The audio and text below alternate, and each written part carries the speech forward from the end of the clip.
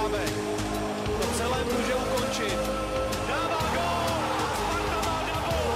Sparta, tohle není offside a je to gol! Natáčíme, ty vole, tak jo, no. Bude vánočně speciální. Nešumí to, ale bohužel. A nemusíš dělat efekty, budeme dělat po každý, když se ty pauzy nahrají víc, ty vole. No, ještě takový to. Ša- šampaň.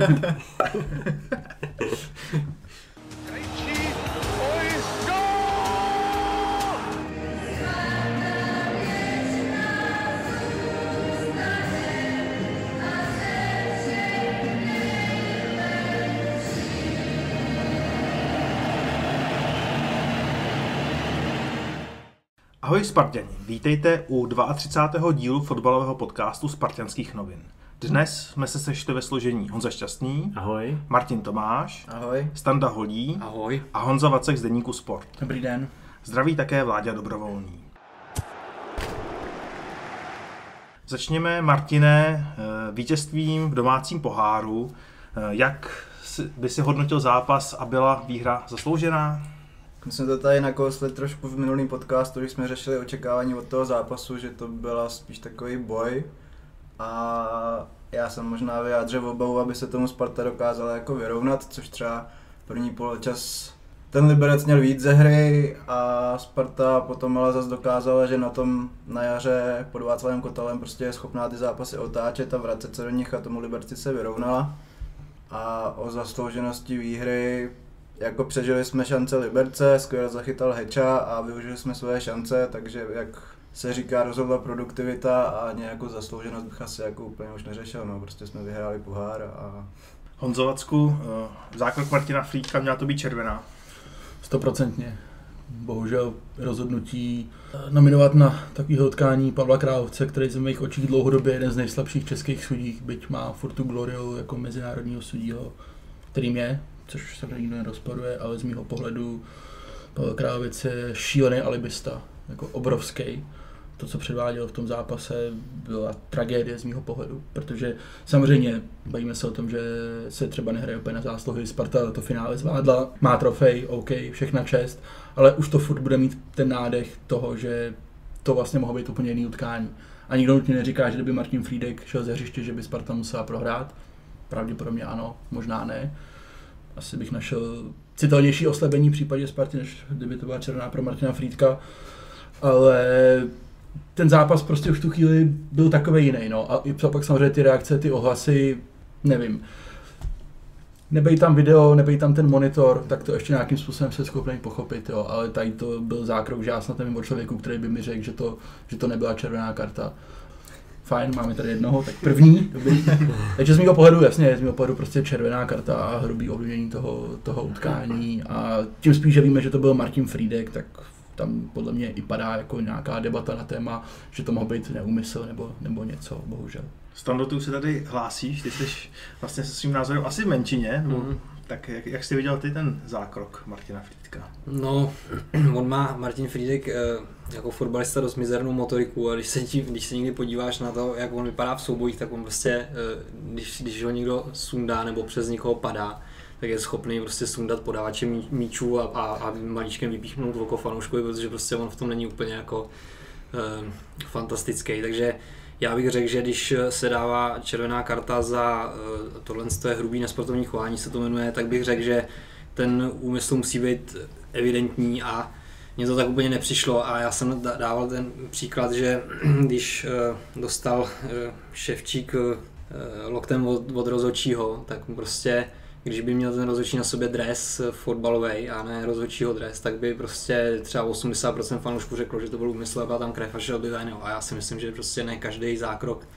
který, nutný, který jako můžeme třeba říct, to je jasný úmysl, tak úmysl je a já bych ani z těch záběrů, že by jako že by jako on na něj šlapal prostě nějak, tyjo, jako když to srovnám třeba s tím, byl Kopic, že jo, tak ta frustrace toho Kopice, tak to bylo jako evidentní.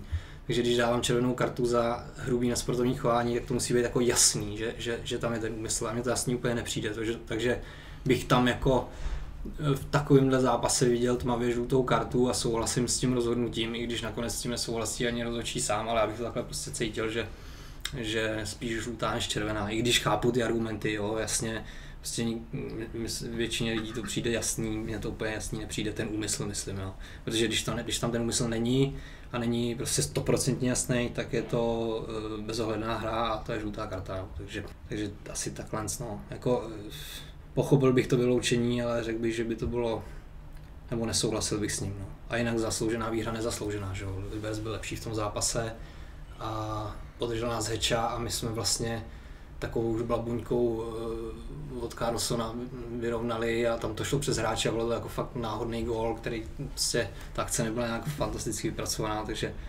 eh, spíš bych tam viděl remízu než, než, než naší výhru a, a, Liberec doma prostě sil, silný a byl letos silnější než Sparta v těch domácích utkání a, a zasloužil by si vyhrát von. No, takže asi takhle. No.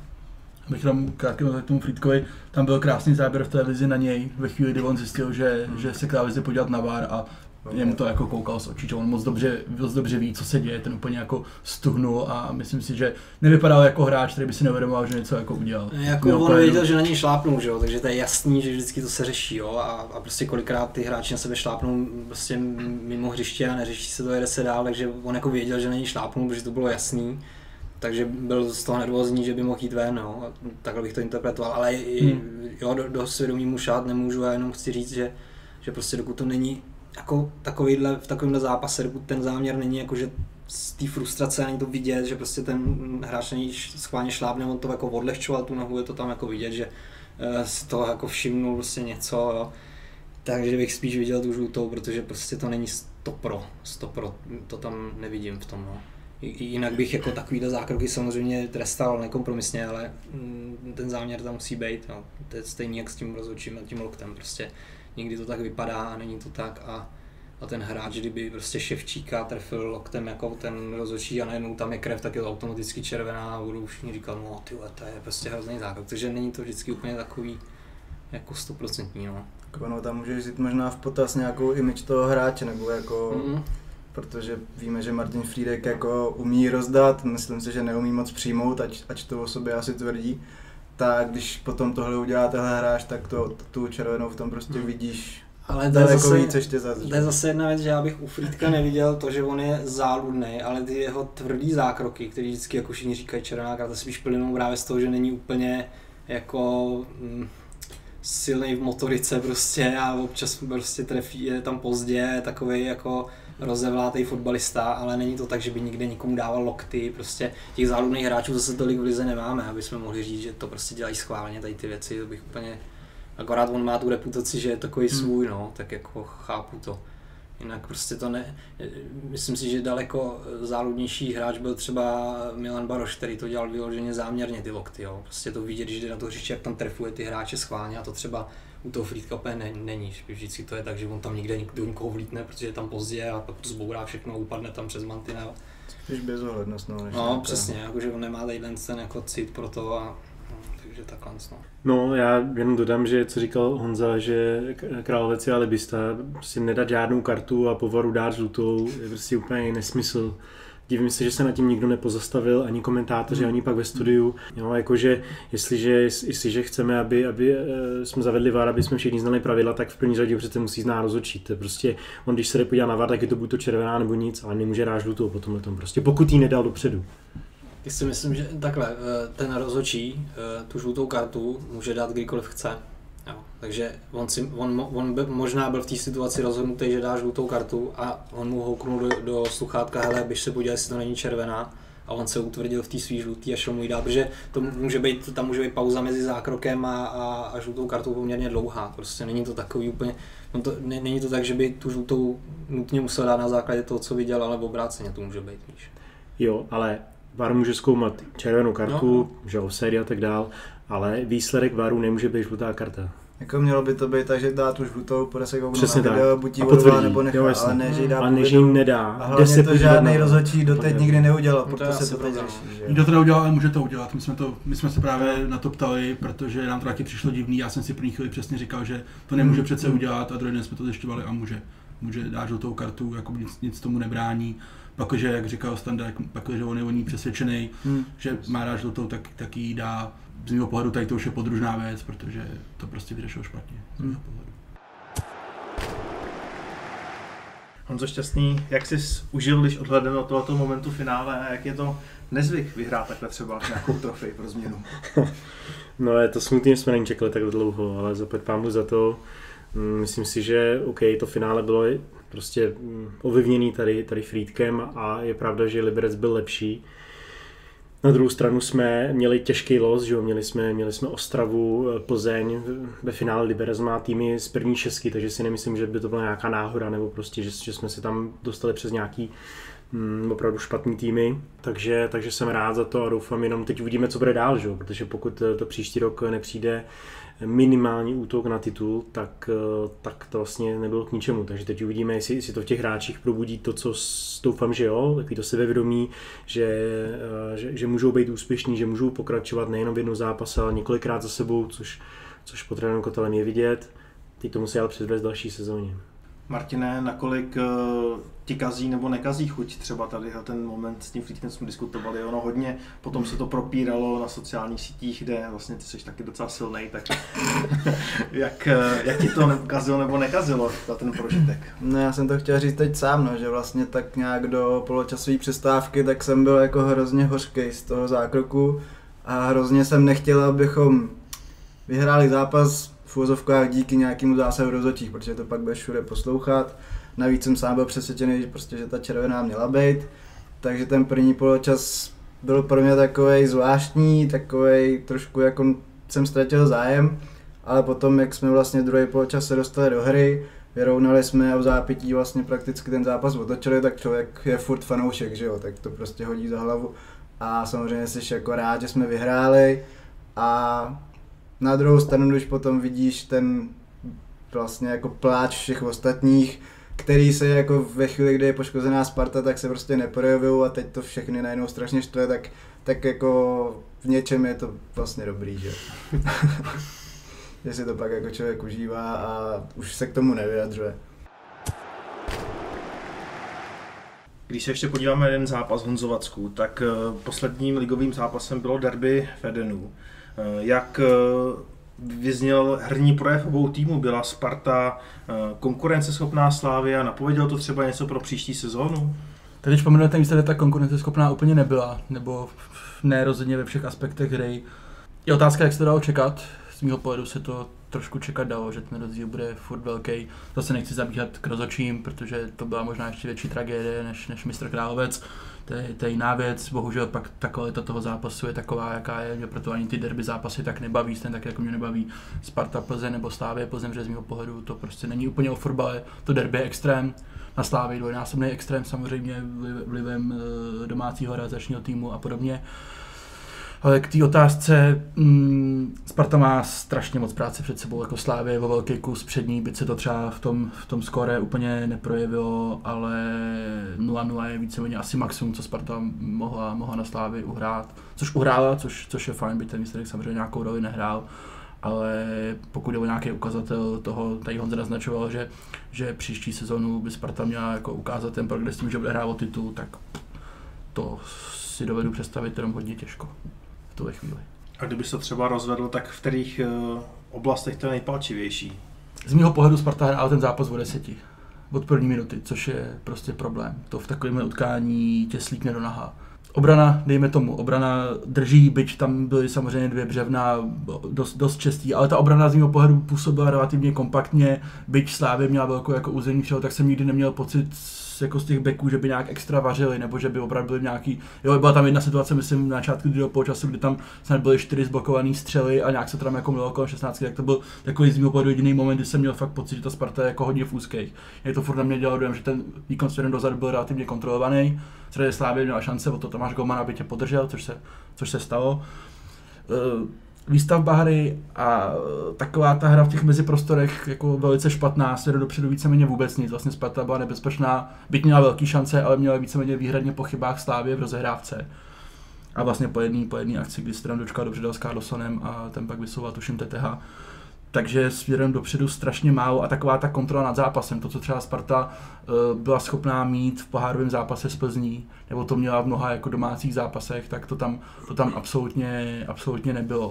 A ono se to může být jako, že to příchod jednoho, dvou hráčů nebo nějaká lehká úprava systému jako změní. Z mého pohledu Sparta se musí natrénovat fyzicky, protože opět byla fyzicky slabší než Slávě výrazně a myslím si, že to po letní přípravě bude znát, ten rozdíl, ještě se asi budeme bavit o srovnání vlastně trenéra Kotala a trenéra Jilka, tak to, to si nechme na pak.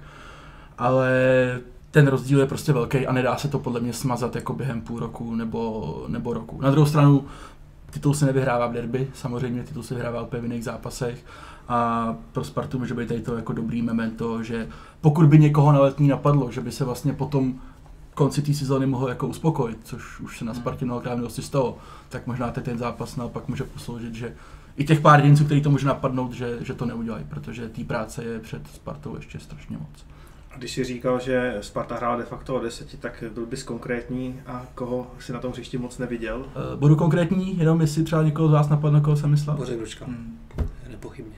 Prostě uh, asi se taky o tom ještě budeme bavit. Uh, Bořek dočkal rychlejší nebude, obhajoba, že má čísla, je fajn, ale z mého pohledu eh, ne úplně dostatečná a ta jeho trvanlivost, nebo ta trvanlivost jeho pozice v tom týmu podle mě nemůže být dlouhá z mého pohledu skoro vypršela. Prostě Bořek dočkal na některou typologii zápasů, jako v tuhle chvíli z mého pohledu nestačí a nevidím důvod, proč by výhodově stačit měl. Podle mě prostě, kdyby Sparta ten post vyřešila v tom derby personálně jinak. Neříkám, že Adam Karabec třeba zrovna ten hráč, který by jako v Edenu zazářil v takovém zápase, ale furt bych ho tam třeba já osobně viděl radši než Bořka Dočkala, protože eh, tady ty tempo zápasy prostě nejsou pro něj. On samozřejmě není, není rychlý, není rychlostní typ, z toho plyne to, že on v defenzivě buď fauluje, anebo víceméně jako ti nepomůže a on v momentě, kdy nemá na provedení, samozřejmě on, když dostane balon a má klid, tak on to řeště krásně vidí, on to vyřeší špičkově. To je jasný. Když tady v těch zápasech moc ten klid a ten čas na to nemáš, a v tu chvíli samozřejmě je to obrovský handicap, že ty nahoře nepodrží žádný balony a v tu chvíli se ti to prostě vrací a, a je skoro až zázrak, že vlastně stopeři i krajní beci a Láďa Krejčí, že se vlastně jakoby neprolomili pod tím tlakem a, a uhráli to na to novou, byť jak jsem říkal, občas ještě s tím. No. Mě vlastně překvapilo, že do toho zápasu Bořek nastoupil, protože v tom posledním domácím s Jabloncem tak nebyl ani v nominaci, kvůli nějaký prevenci vůči zranění. A v tom derby výjimatý prestiže tak nešlo vlastně o nic z hlediska ligy. A jak říkal Honza, byl to typologický zápas, který ať třeba proti té proti tý Plzni v zápasech, tak ta tro, středová trojice fungovala, i s Kangou, i s Dočkalem, ale tohle prostě zápas pro Dočkala nebyl, navíc situace, kdy minule nehrál kvůli zranění, takže jsem ho třeba nečekal, jako že bude hrát a zbytek jde Gonzalo. Stanu, kdybys navázala, třeba porovnal tohle derby s tím předchozím, co jsme hráli na jaře? No, teď to bylo lepší, ale ne zase tak zásadně. Jo. Obrana prostě působí dobře, ale Sparta neumí bránit v záloze vůbec. A nevím, příčina není jenom Bořek Dočkal, ale i Gelor Kanka. Prostě v takovémhle zápase proti Slávy se musíš rychle vracet pod balón a to prostě Sparta v tuhle chvíli nedělá a neumí a měl s tím problémy ve všech zápasech i pod Václavem Kotalem teďka jenom eh, s chodou okolností a štěstí a tím, že dobře pracuje ta obraná řada jako čtyřka, tak z toho nedostává víc gólů, takže tam cítím jako že tam není moc velký posun. Posun je určitě v, ve výkonech jednotlivců v obraně a složení té obrany funguje dobře. Eh, bylo to o něco lepší než ten, než ten zápas, ne, jak, který skončil 1-1 a byli jsme podle mě i o, dost nebezpečnější dopředu vlastně, akorát jsme nedotáhli ty akce, ale je to hrozně málo furt, jo, samozřejmě, takže uh, myslím si, že pro, na druhou stranu bych řekl, že pro Sávy to nebyl lehký zápas a, a, a ne, nebylo moc zápasů v sezóně, který by pro ně byly takhle těžký, protože uh, my jsme víc drželi míč, než oni jsou zvyklí i proti, pro, proti ním soupeři držej, jo, třeba když ten zápas začal, tak jsem si říkal, to vypadá hmm. docela dobře, jo, ukázali jsme prostě se prokombinovat až kvápnu, ale jsou to záblesky, je to jako, je to, je to málo a, a ten míč držíme spíš na těch stoperech, což je taky dobrý posun, protože to dává jako tomu, tomu týmu půdu pod náma, ale, ale čeká nás obrovská práce a, a, a myslím si, že a dostaneme se k tomu ještě tématem Kangy asi, ale myslím si, že prostě záloha v tomhle složení nemůže hrát o titul. že, se, že na, na, na, zbytku toho týmu bych, bych viděl dostatečnou kvalitu i to složení, že může fungovat, ale v záloze neumíme bránit a defenzíva vyhrává tituly prostě. Už nic nedoplníš, co šťastný tomu, tomu tématu, nějaký postřeh, nějaký třeba zajímavý výkon. A jak se ti líbí, že končíme sezónu opět Fedenu?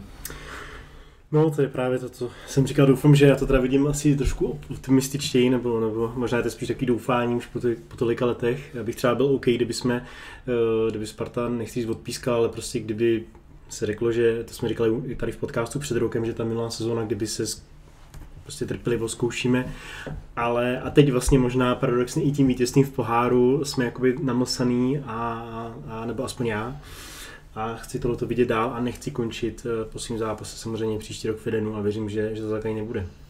Jako jediný jsem tady typoval, že skončíme třetí, jako jediný jsem typoval, že, promiň Vláďo, my s Vláďo jsme typovali, že vyhrajeme pohár a skončím třetí, takže teď říkám, že, že to bude lepší příští rok. Ještě. Sparta hrát o titul může, ale bude hodně záležet na soupeřích, nemá, nebude to mít podle mě jako pod kontrolou, ne, ne, ne, nemá na to zatím prostě, i když ono se to může změnit strašně rychle, jo, nechci zase říkat, ale myslím si, že třeba jako obhájit titul po třetí bude fakt těžký jo, a nějaký pohyb v kádru a najednou to může být jinak, jo. ale ten, ten, ty týmy prostě mají furt před náma náskok v té práci, takže eh, myslím si, že budeme rozhodně konkurenceschopnější, což ale není zase jako zásadní problém, protože já jsem se koukal, že od té doby, co se zavedl tříbodový systém, to byla třetí nejhorší sezóna v historii, prostě eh, tak jako to překonat není těžký, že jo.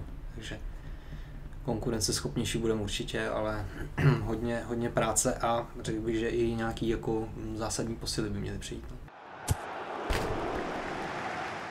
Pojďme se tedy podívat na uh, další sezonu, na naše očekávání a složení kádru. Uh, budeme vycházet z předpokladu, což potvrzoval i v jednom z rozhovorů hlavní trenér, že budeme chtít mít logicky všechny posty zdvojené. Tak když bychom začali u brankáře, tak tam aktuálně to vypadá na spíš přetlak, než že by byl dostatek Honzo šťastný, tak eh, dokážeš si představit scénář, kdyby tady zůstal i Florinica, kde se mluví intenzivně o odchodu a nakolik eh, vidíš pravděpodobně, že opravdu odejde ze Sparty?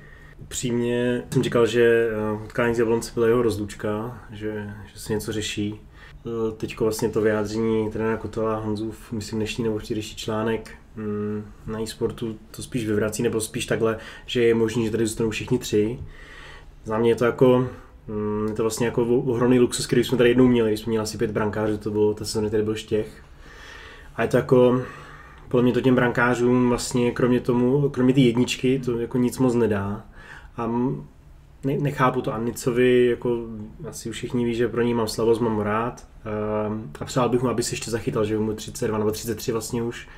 Takže by si ještě mohl eh, klidně jednu, dvě sezony, sezony dát, tady si ji odsedí, je otázka, zřejmě, jestli tam bude nějaký zájem jo, služby, že jo, jasně, ale prostě nedává mi to moc smysl. Jako radši bych, aby jsme měli dva brankáře a třetí, aby byl klidně někdo mladý, aby sbíral zkušenosti, aby klidně chytal, jako to bývalo jakoby dřív, jo. teď nechci síglovat to frýdkovatě, vzpomínat na, na, na, železnou Spartu a tak, ale prostě e, něco to mělo do sebe, protože ten třetí brankář e, chodil trénovat s Ačkem, ale zápasy hrál za Bčko, postupně e, se, se do té branky dostal a Určitě to, to těm mladým brankářům pomohlo. Takhle vlastně jsme loni podepsali Vorla, prodloužení Voro, který byl v Senici, teďka je volný hráč, takže vlastně nám uteče. Takže to prodloužení jako absolutně vlastně nedává smysl. Plus máme další zajímavý brankáře, eh, třeba Bačkovskýho, který neříkám, že by teď hnedka měl chytat, jenom říkám, že, že pokud to tam jako nezapojíme, tak se to bude, nebo může se to opakovat, eh, ta situace jako teďko s Vodlem. takže zvláštní, no. Je to, je to to jako velký luxus, ale samozřejmě je otázka, jestli vůbec jsou, jestli je vůbec zájem o, o služby Florina Nici, pokud ne, tak samozřejmě eh, ještě má rok smlouvy, tak to tady prostě dojede, no. Ale přál bych mu, aby šel někam, aby si ještě zachytal. Já jsem předně rád, že Honza vytáhnul Vorla, protože už jsem byl nervózní, že ho nezmíní. jako i v otázce Gomanu vždycky, vždycky přijde na, na, na, na. Takhle, Sparta si musí v první chvíli, co se týče Gomanů, vlastně vyhodnotit, kdo bude trenér Gomanů, protože jdou nějaký zprávy, že Mário Galenovič skončí v klubu, nebo mohlo by to tak, nebo bude to tak, patrně, tak pak je otázka, kdo ho, kdo ho nahradí, to si myslím, že je jedna důležitá věc. Forenica určitě ho Sparta nedrží jako na řetězu v klubu, to vůbec ne. Jo, ale tak asi bychom chtěli věřit tomu, že, že končí doba, kdy Sparta trošku působí jako nějaký zaopatřovací ústav nebo, nebo klub, který vlastně bude nějakým způsobem pomáhat ostatním. On má roční smlouvu, takže pokud se odejde, tak samozřejmě Sparta nebude chtít nějakou kompenzaci finanční. Ne vysokou, mluví se o nějakých 400 tisíc eurech, což, což je kolik, nějakých 12 milionů, 13 milionů plus minus. Což samozřejmě Golman 33 let, na druhou stranu Golman, který má nějaký renomé a u těch brankářů ten věk kolikrát nehraje úplně takovou roli. Takže já si myslím, že to tak skončí, že Fornica odejde, ale v tuhle chvíli, aspoň co já mám zprávy, prostě na ně žádná konkrétní nabídka není. A ten můj text, co jsem psal, byl myšlený právě tak, že pokud ta nabídka adekvátní nepřijde, aspoň tady v té nějaké hladině, tak Sparta jako je úplně OK s tím, že tam bude mít prostě tři golmany a ty se o to poperou. Byl by to samozřejmě luxus, to naprosto souhlasím. Na druhou stranu chápu, že Sparta eh, nechce prostě svoje, svoje hráče pouštět, pouštět jakoby zadarmo, když tomu vlastně nemá víceméně žádný důvod. Kdo bude jednička je otázka, z mého pohledu má nejblíž k tomu Milan Heča, který si hodně pomohl v závěru, v závěru té sezony. Byť já k němu mám teda hodně výhrad, hlavně co se týče nohama a rozhrávka na střední vzdálenost, to, to je většinou tribuna. A ne, neznám Dominika Holce, přiznám se, že neznám moc Dominika Holce, takže jsem na něj sám zvědavý, jak on to, on to zvládne, ale víc bych si já sadil na Milana Heču. Proč by měl odejít Mario Galinovič? To je z jeho žádosti, nebo je tam nějaký, nějaká věc, třeba, co bych tomu mohl jako... No, něco jsem zaslech, že, že paní Galinovičová jako řekla, že už by to taky bylo dobrý občas být doma, takže myslím, že to jsou nějaký rodinný důvody. Ale nemám to jako potvrzený, jenom jsem to zaslech, že to může být varianta.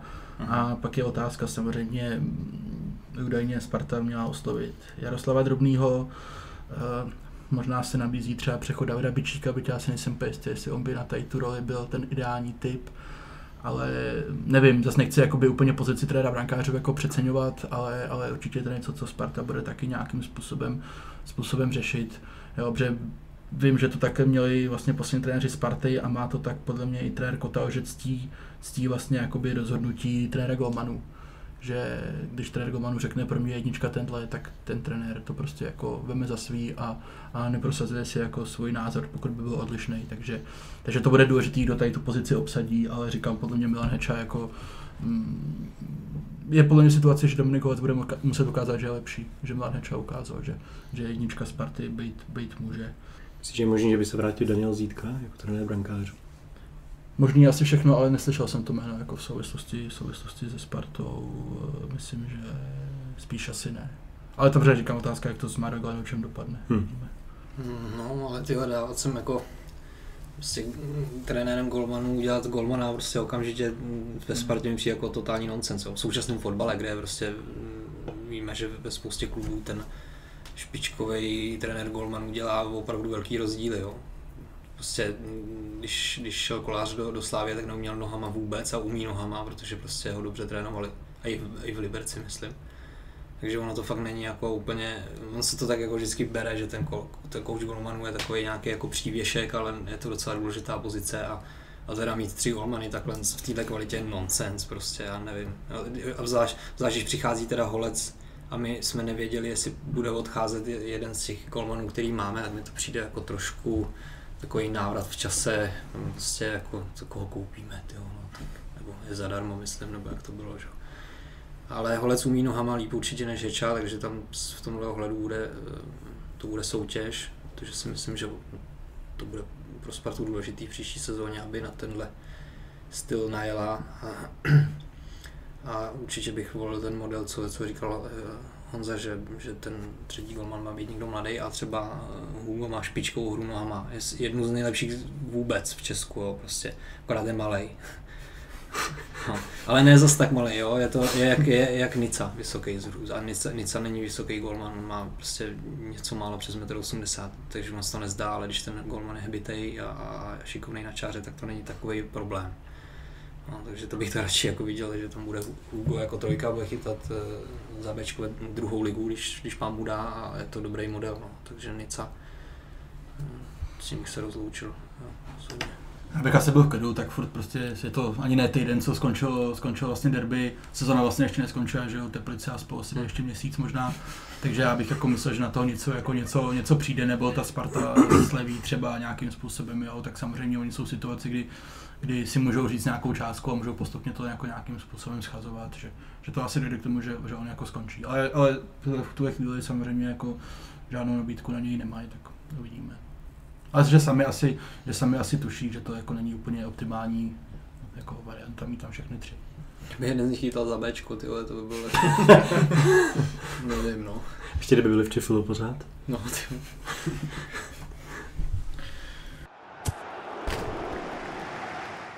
Honzovacku, eh, jak to bude s Martinem Frýdkem?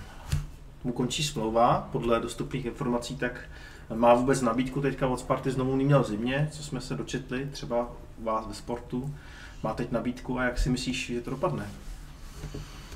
Martin Friedek, eh, na mě to dělá dojem, že Sparta je na nějakých třeba 90% rozhodnutá, že se rozjede s Martinem Friedkem, ale že jsou furt jako takový, eh, že nemají úplně zatím tu sílu udělat to finální rozhodnutí, prostě do toho jako říznout a říct jako konec. Samozřejmě to má nějakou návaznost na případně obsazení pozice levého obránce, že jo, kde, kde v situaci, kdyby skončil Martin Friedek, tak je tam pouze Matěj Hanousek.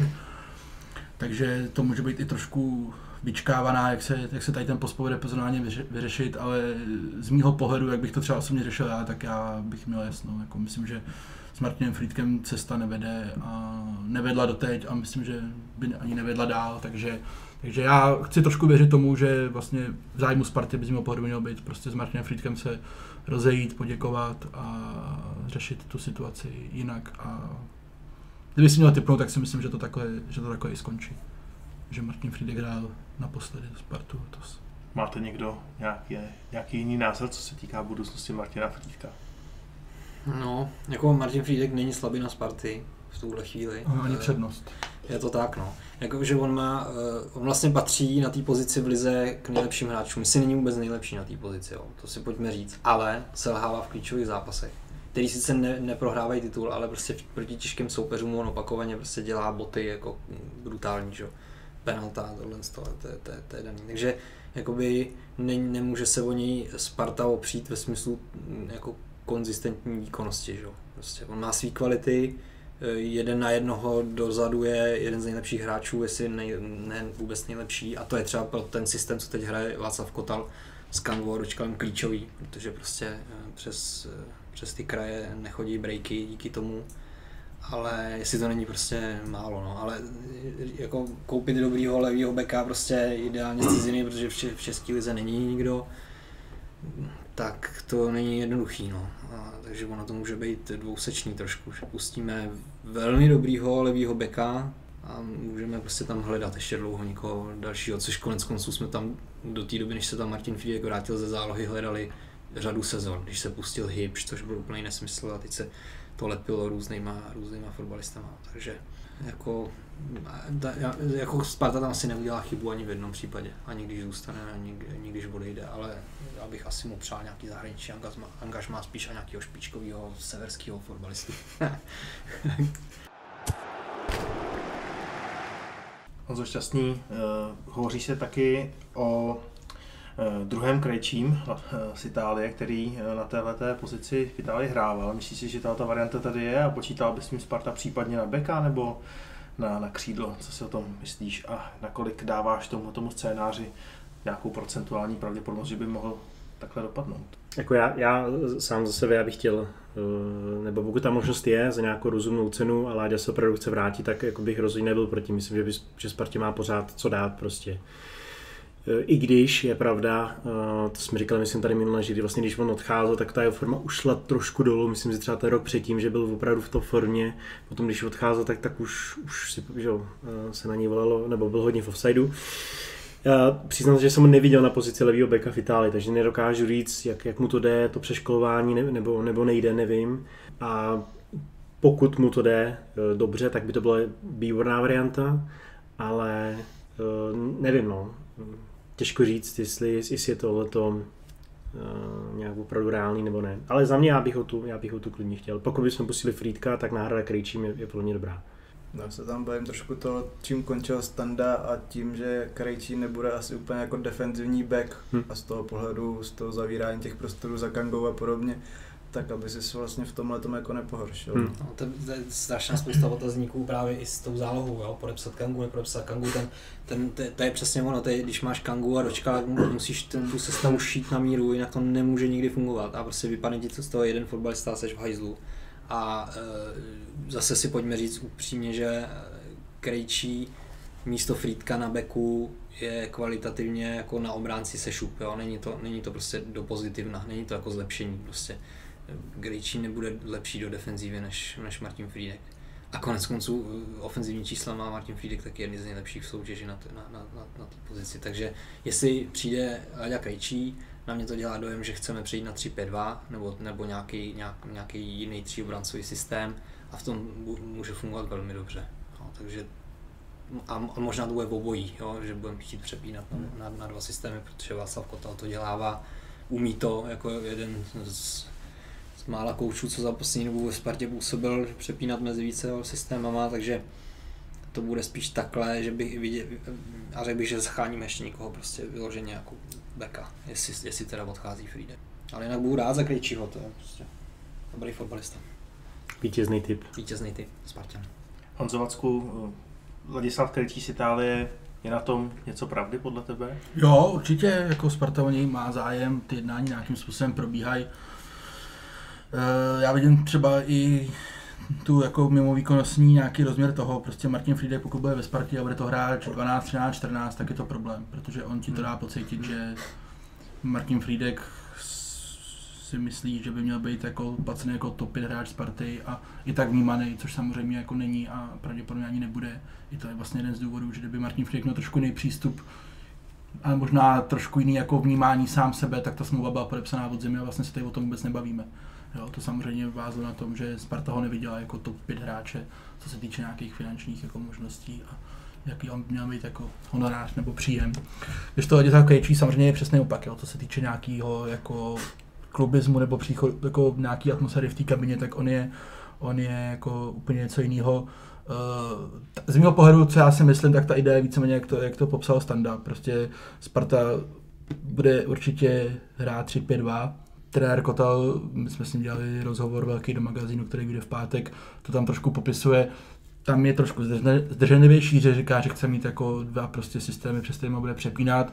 Na mě to dělá dojem, že on prostě bude mít jako výchozí 3-5-2 a, a spíš výjimečně ho nebude používat, si myslím já, je podle toho, jak třeba Sparta nějakým způsobem skládá ten kádr.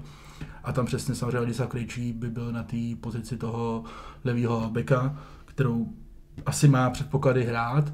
Těžko říct, jak je on je vlastně srem dozadu, na druhou stranu z mého pohledu prostě defenzivní činnost je něco, co se naučí snáš než tvořivost a vlastně kdo jiný než trenér Kota by tady to měl být schopný zvládnout. Proto mi to jako dává nějakou logiku. Ale jako třeba můj názor obecně, já bych se třeba jako by toho trošku bál. Já bych obecně jako hráč typu Ladislava Krejčího vlastně po roce nebo po dvou kdy on pořádně jako moc toho neodehrál. Já bych jako celkově s tou ideou, chápu, proč to Sparta dělá, ale já bych třeba jako to nedělal. Já bych jako úplně, úplně jako Láďu Krejčího vypustil a koukal bych úplně jinam. Ale rozumím jakoby té motivaci, proč to Sparta se snaží to zrealizovat, ale já mám z toho trošku obavu. V souvislosti s krajními obránci se tady eh, k nám nějakým způsobem pořád vrací jméno Libora Holíka z Jablonce, byť je to primárně pravý bek. Eh, Honzo Vacku, je tohoto jméno taky nějakým způsobem reálné, že by přišlo na Spartu, nebo to je spíš fáma? Já o tom vůbec nic nevím. Přiznám se, že jsem to zaregistroval, že se o tom jako hodně mluví. Trošku, trošku to na mě dělá jako takový nádech jako Despodova a, a Stronatyho a, a, já nevím, Jemelky a dalších, co už v Spartě byli 20krát. Může se to stát samozřejmě, jako všechno je možný.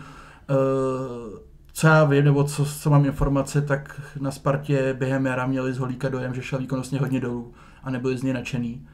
Já teda taky nejsem osobně, pokud, pokud vy ho nebo obecně s fanoušci Sparty jako zho, myslí, že Holík by byl nějaký top řešení, tak mě to trošku překvapuje, protože já mě nevidím nic extra výjimečného.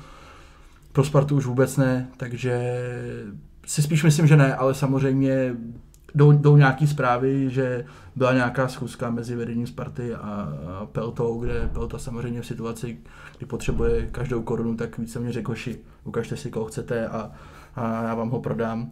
A údajně měl jako říct, že tam nic jako zajímavého není pro ně v tuhle chvíli. Ale může se samozřejmě něco změnit na druhou stranu, jako na jakou stranu obrany by měl přijít ten holík, jako na pravou? Myslím, že pravou, pravou stranu obrany má Sparta vyřešenou. Může se bavit si dobře, ale co mám informace, tak ke spokojenosti jako vedení klubu nebo sportovního ředitele, trenéra, nevím jak to říct. A nalevo si myslím, že v dvojice Krejčí, Krejčí Hanousek. No. Pokud se povede Ladislava Krejčího přivést. Pokud ne a skončí Martin Friedek, tak to bude zajímavý.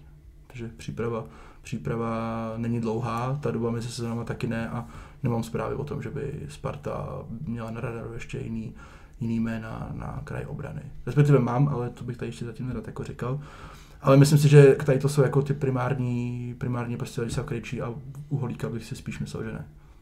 Takže Michal Sáček už je pro back. Uh, já si myslím, že ve vnímání Sparty Hmm. ano a v mým jako taky, no. Já něho Sáčkem na beku, na beku nemám žádný. Michal Sáček je z mého pohledu prostě prototyp jako opravdu rizího fotbalisty, což je pro mě hráč, který ho víceméně postavíš kamkoliv a on ti to nějaký úrovni odehraje, protože to je fotbalista. Hmm. To, že není dokonalý, to samozřejmě všichni víme. Stranu jako kolikrát ta kritika na, na něj mě jako až překvapuje, protože Michal Sáček byl na podzim možná nejstabilnější hráč Sparty, vlastně v situaci, kdy byla úplně v prdeli, co se týče pravého obránce, tak on ji vlastně jako zachraňoval de facto a nemám pocit, že by na jaře jako slevil. To, že někde on blbě vystoupí nebo někde prohraje nějaký souboj, OK, to ti udělá i hráč, který, který hraje beka celou kariéru.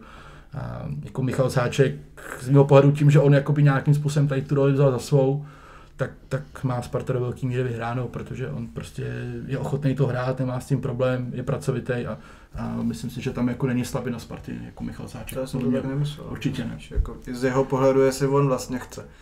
Dobu- Myslím si, že on je rád, že on je taková povaha, že on je rád, že může hrát ve Spartě a že je v základní sestavě a když vlastně se o tom baví, se podíváme, jako kolik má hráč, hráčů Sparta do středu pole No a kolik právě. jich tam mít může, tak já si myslím, že Michal Sáček prostě už i ve vnímání jako, jako klubu je prostě pravý back. No. A hodí se nám Michal Sáček i do systému 3-5-2? Tak ten Ne. máš Winheima, no.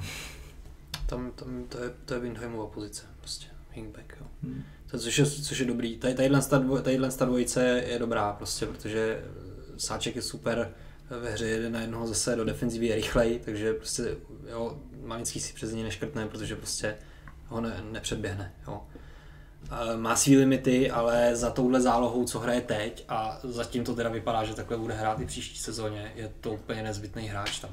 Takže to, to, to je asi vyřešený. A jinak Liborovi Holíkovi on opravdu šel výkonnostně dolů, teďka na jaře zejména. Ale viděl jsem ho hrát velmi dobrý zápasy i na levém beku. A líbí se mi tadyhle ten, tadyhle ta, tadyhle ten prvek toho hráče, že, že nemá vůbec problém hrát na jednom i na druhém. Nejlepší, já nevím, jestli, jestli je mož, možný ten zápas někde vidět, ale když hrála 21 s Francií, kde teda rupla 3-1, ale byl to pěkný zápas i z naší strany, tak tam Holík byl nejlepší náš hráč a vypadal tam skvěle na tom levém beku. Jo. Uh, takže jako rozšíření kádru by mi přišel fajn, abych ho tu klidně bral, protože prostě zaskočí na, obě, na, na oba kraje a toho wingbacka by si taky zahrál a možná, že by mu tohle to mohlo pomoct v té v tý stag, jablonské stagnaci, kde mi přijde, že to je takový to. Ale eh, říkám, jako ne, není to řešení prostě, eh, že by, že by nás nakop k titulu, to rozhodně ne, ale rozšíření kádru OK, že zahraje víc postů. no. Jinak představa, že budeme, nastu- že budeme startovat příští sezónu s dvojicí levých beků Hanousek Krejčí mě děsí teda. Musím říct, že to, to je prostě málo.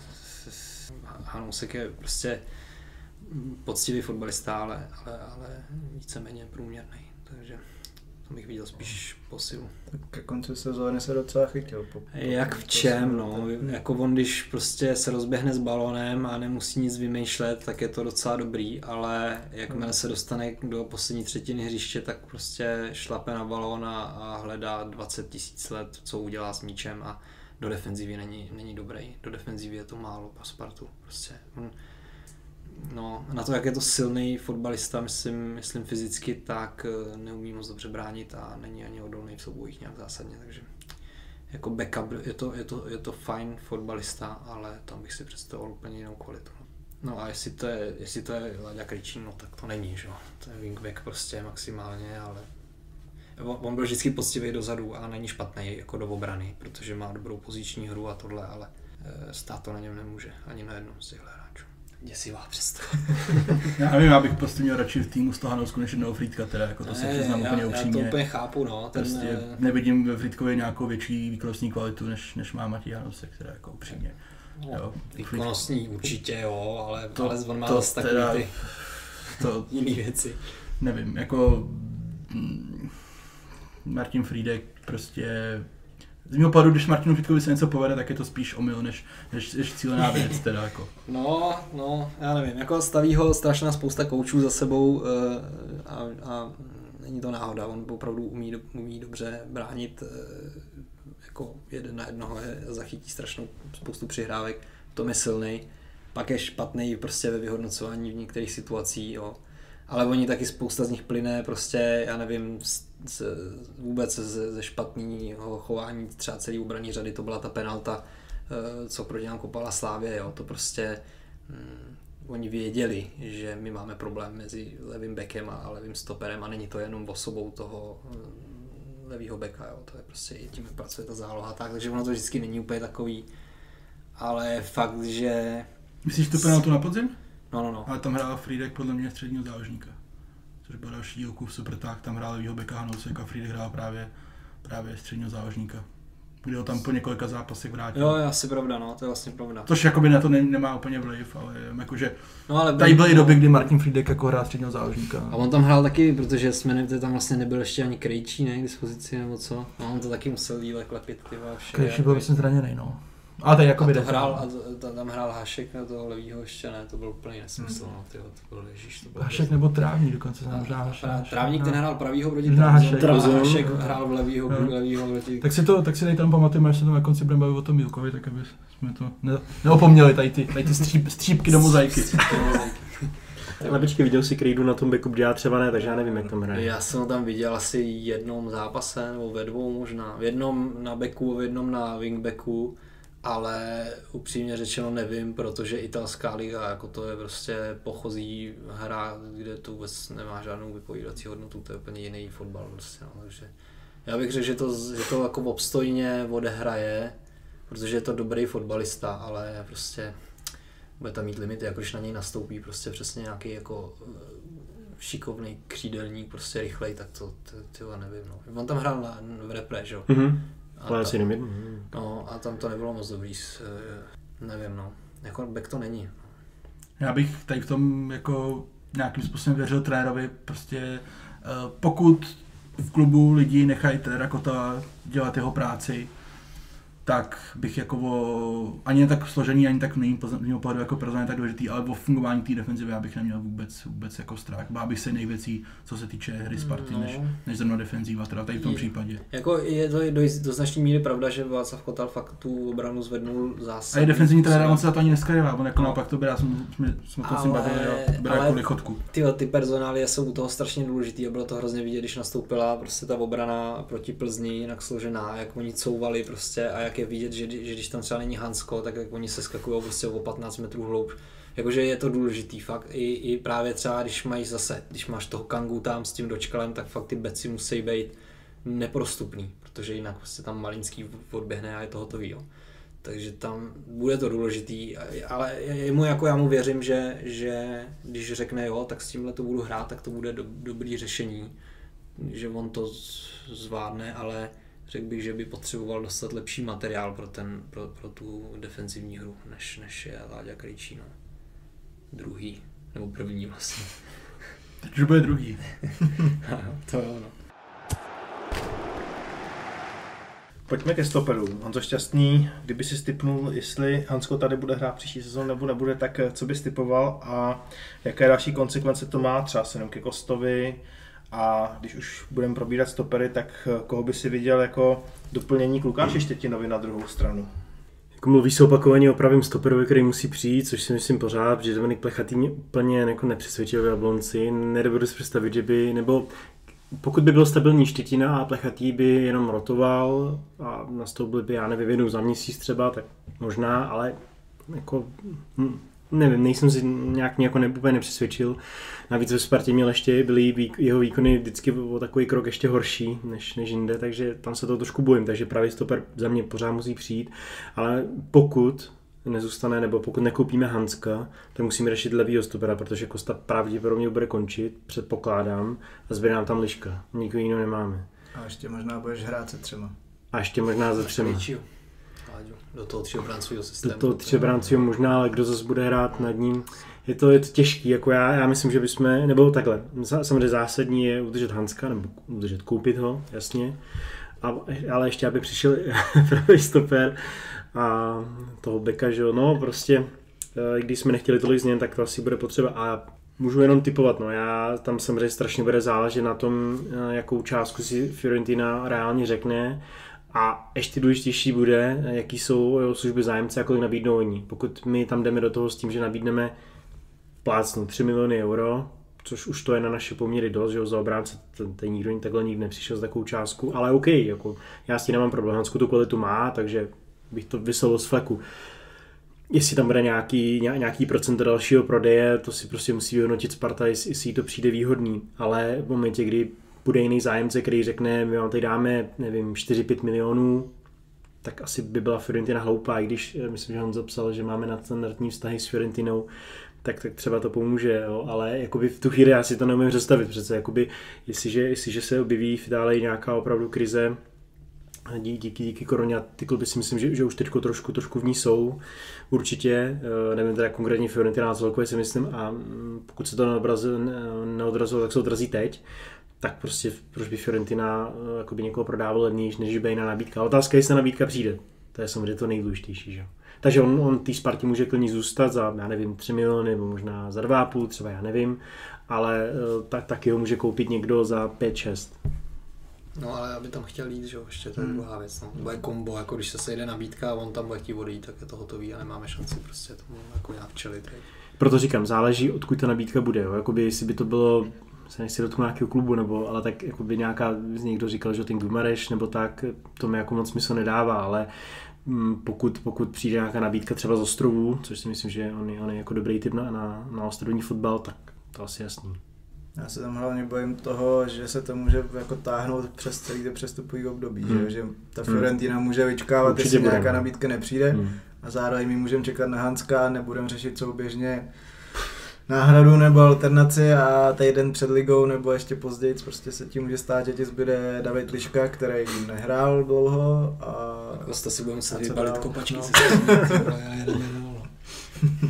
Ne, tak je to, samozřejmě tady to, jak jsme se bavili vlastně o obsazení jako levýho obránce, tak, tak z mého pohledu tady to jako je víceméně gro celého toho léta, protože když se na tu situaci podíváme, tak jestli platí, že sezona začne nějakého 22. srpna, to znamená, že někdy za týden nebo za 10 dní začíná letní příprava, která bude opět trvat snad 4 týdny a, a první zápas. A vlastně v tu chvíli má Sparta pod smlouvou vlastně dva stopery, což je Liška a Štětina. Hmm. Takže v tu chvíli jako, jako co se týče Hanska, tak tam je Tomáš Ledecký jako úplně o všechno, jako úplně, protože ve chvíli, kdy on to teď neudělá, z jakýkoliv důvodu, což se může samozřejmě stát, tak uh, máš vlastně strašně málo času na to, aby si nějakým způsobem to řešil. Nemyslím si, že má Sparta úplně, že Sparta jako je připravena na alternativu, že Hanska neudělá. Myslím si, že na to můžou, by mohli být připravenější víc, než, než, než jsou reálu. Co se týče pravého stopera, vzpomněl- jsem tady byl, když jsem tady byl v zimě a začal jsem tady říkat Martinovi, jako, že aby nebyl překvapený, když nepřijde ani jeden, na tož dva, tak, tak, tak tady mě koukal, tak já to nechci úplně opakovat, ale z mého pohledu uh, pravý stoper není pro Spartu taková priorita, jak může být jako vnímáno veřejností. Tentokrát si myslím, že ho přivedou, jak jsem říkal zimě, že si myslím, že tentokrát si myslím, že ho přivedou, ale je to takový to, co jsem vypozoroval, že mají fanoušci Sparty jako hodně rádi, že, že, že Sparta kouká a když něco uvidí, tak bude aktivní. Takové, takové. A to si myslím, že na tady ten případ to jako, že na tady ten případ to jako opravdu, opravdu sedí. A protože samozřejmě nějakým způsobem už nejsou úplně pod tím, pod tím primárním tlakem toho, že nemají stopera do základní sestavy pravonovýho, který ho mají ve Štětinovi. Eh, Pravděpodobně tomu už uvěřili definitivně, protože samozřejmě jsme se bavili o tom, že to jsou dva zápasy záblesk, tři zápasy záblesk, dobře, oni to pak byly tři měsíce, nebo dva měsíce, nepřeháním. samozřejmě zase dostáváme se nějakým jako oslým úzkem k té konsekvenci typu, že Štětina bez Hanska může být zase jiný Štětina samozřejmě. Takže z mého pohledu nicméně Sparta pravý, jako pravidelného stopera přivede. Nečekám, že to bude nějaká vyloženě jako šleha, že by to měl být jako nějaký top hráč za velký peníze do základní sestavy. Měl by to být ale někdo prostě na vytvoření konkurenčního prostředí, samozřejmě riziko zranění. Nemyslím si, že to bude Dominik Plechatý, myslím, že u Dominika Plechatýho převáží to, to, aby on někde pravidelně hrál. Podle mě pro Spartu to v tuhle chvíli ještě není. A je otázka, jestli někdy vůbec bude ale z mého pohledu všechno se bude odvíjet od situace, od situace Hanska. No. Tam, tam, jak říkám, pokud tam to nedopadne, tak, tak ne, nevím, nevím. Třeba má Sparta připravený nějaký, nějaký plán B, který velice rychle realizuje. Já se to moc nedovedu představit v tuhle chvíli. Teda. A myslíš si, že kdybyste měl typnout, že to dopadne nebo nedopadne Hanskem? My jsme tady měli nějakou sázku, že, kterou dosud nemáme vyjasněnou, kde jsem, kde jsem operoval nějakýma 95% asi, já, si myslím, já si myslím, že to dopadne. Já si myslím, že to dopadne, už to tady trošku naznačoval Standa, samozřejmě i tady v těch transferech hraje jako velkou, velkou roli jako pozice toho hráče, která samozřejmě uh, si můžeme říct, že Italu může být úplně jedno, co chce nějaký Hansko. Na druhou stranu jako víme, že když si hráč jako dupne, tak to má nějakou váhu. Když si dupne šikovně, nedupne se jako Martin Hašek, dupne si šikovně, tak to může mít, jakoby, může to tomu transferu nějakým způsobem pomoct já z toho, jak, jak se to jakoby táhne a ono se to vlastně ani tak moc jako netáhne, jo. ono to se tak vypadá na druhou stranu, Sparta uh, musela minimálně čekat, protože ve chvíli, kdy se Real se nehrála, tak se, jako se Spartou nebavilo Hanskovi v tu chvíli samozřejmě, že jo. Tam měli úplně starosti, takže teď se spíš to nějak podle mě začne trošku hejbat. Já si myslím, že to je otázka třeba týdne maximálně, kdy bude, kdy bude jasno, ale čím dál víc, jak tu situaci se snažím nějak jako z dálky nebo zpozdálí sledovat, tak to na mě dělá dojem, že, že když, když půjde jako to vypadá špatně, že prostě Sparta vytáhne víc, než by třeba původně chtěla vytáhnout. Že prostě, když bude cítit, že to neudělá tak, jak ona si myslela, což, což samozřejmě je nějaká varianta velkého procentuálního podílu z dalšího prodeje a, a dalších, dalších věcí, tak a bonusu a další za starty a v evropských pohádech a podobně, tak to na mě dá že prostě, když ucítí, že tady to nestačí, takže že prostě sáhne do prkenice a vytáhne prostě násobně víc, než, než se myslela, protože i z pohledu, vím, že třeba na to máš Lesecký úplně takový, který to úplně, úplně tak jako nemá postavený, že by úplně se jako nechal nějak jako strhnout třeba tím tlakem fanoušků nebo těma očekáváníma. Na druhou stranu jako ten Hansko z tak jako bezprecedentní, ještě asi společně s Kangou, jako tlak ze strany těch, těch fanoušků jako na to, aby se to udělalo. Že si to jako těžko dovedu představit, že Sparta by byla prostě schopná vylet a říct, kucí, oni, oni to balej, ale tak nevadí, máme, máme tady mladý a jedem. Jo, takže na mě to dělá dojem, že prostě Sparta má jako tu, tu, ten záchytný bod, že prostě ty peníze vytáhne pravděpodobně velmi vysoký, pokud by to tomu dospělo a Hansko, Hansko zůstane. Jako já bych si tím byl poměrně nejistý, ale viděl bych to velmi pravděpodobně. Na Hanska už vypršela obce, pokud se nepletu, to byla ke konci června. Mohl bys nám tak ještě objasnit, protože tam se objevovalo víc informací, co se týkalo výše té obce. Eh, před rokem se psalo nějakých 4 nebo někdo psal 5 milionů euro, teďka ta poslední varianta, co jsem zahlédl, byla asi 6 milionů euro. Tak jak to, jak to s tím bylo a kde teda leží ta pravda a proč se to takhle vyvíjelo, jestli bys nám to hmm. dokázal vysvětlit? Eh, já si úplně přesně samozřejmě nepamatuju ty přesné slova, jak jsem to jakoby popisoval, takže možná v to některém textu třeba nebylo úplně, úplně jako exaktně řečený, ale zkusím to vysvětlit. Ta obce na Hanska byla 6 milionů eur, která vypršela 36. Mám dojem, že my jsme v úvodu to nepsali úplně přesně, že my jsme psali, jak právě říkáš, o těch pěti, že jsme to možná neměli úplně přesně. Nicméně je pravda, že já jsem pak v jednom nebo ve dvou textech na konci podzimu operoval tím, že ten transfer může být realizovatelný i za nižší částku. Mám dojem, že jsem nepsal o tom, že ta obce je nižší, a že ten transfer se dá realizovat za nižší částku, protože samozřejmě obce je nějakým způsobem daná. Na druhou stranu eh, Hansko na podzim nehrál skoro vůbec, a ta situace byla úplně jiná. Jo? Teď, teď Hansko prostě hraje dobře a samozřejmě v té Itálii to vidí, že on hraje dobře. A vidí to nejenom tím, že mají tady pravděpodobně někoho, kdo sem tam se na ně jako podívá, ale vidí to i na té reakci těch dalších klubů, který oni třeba můžou mít zájem.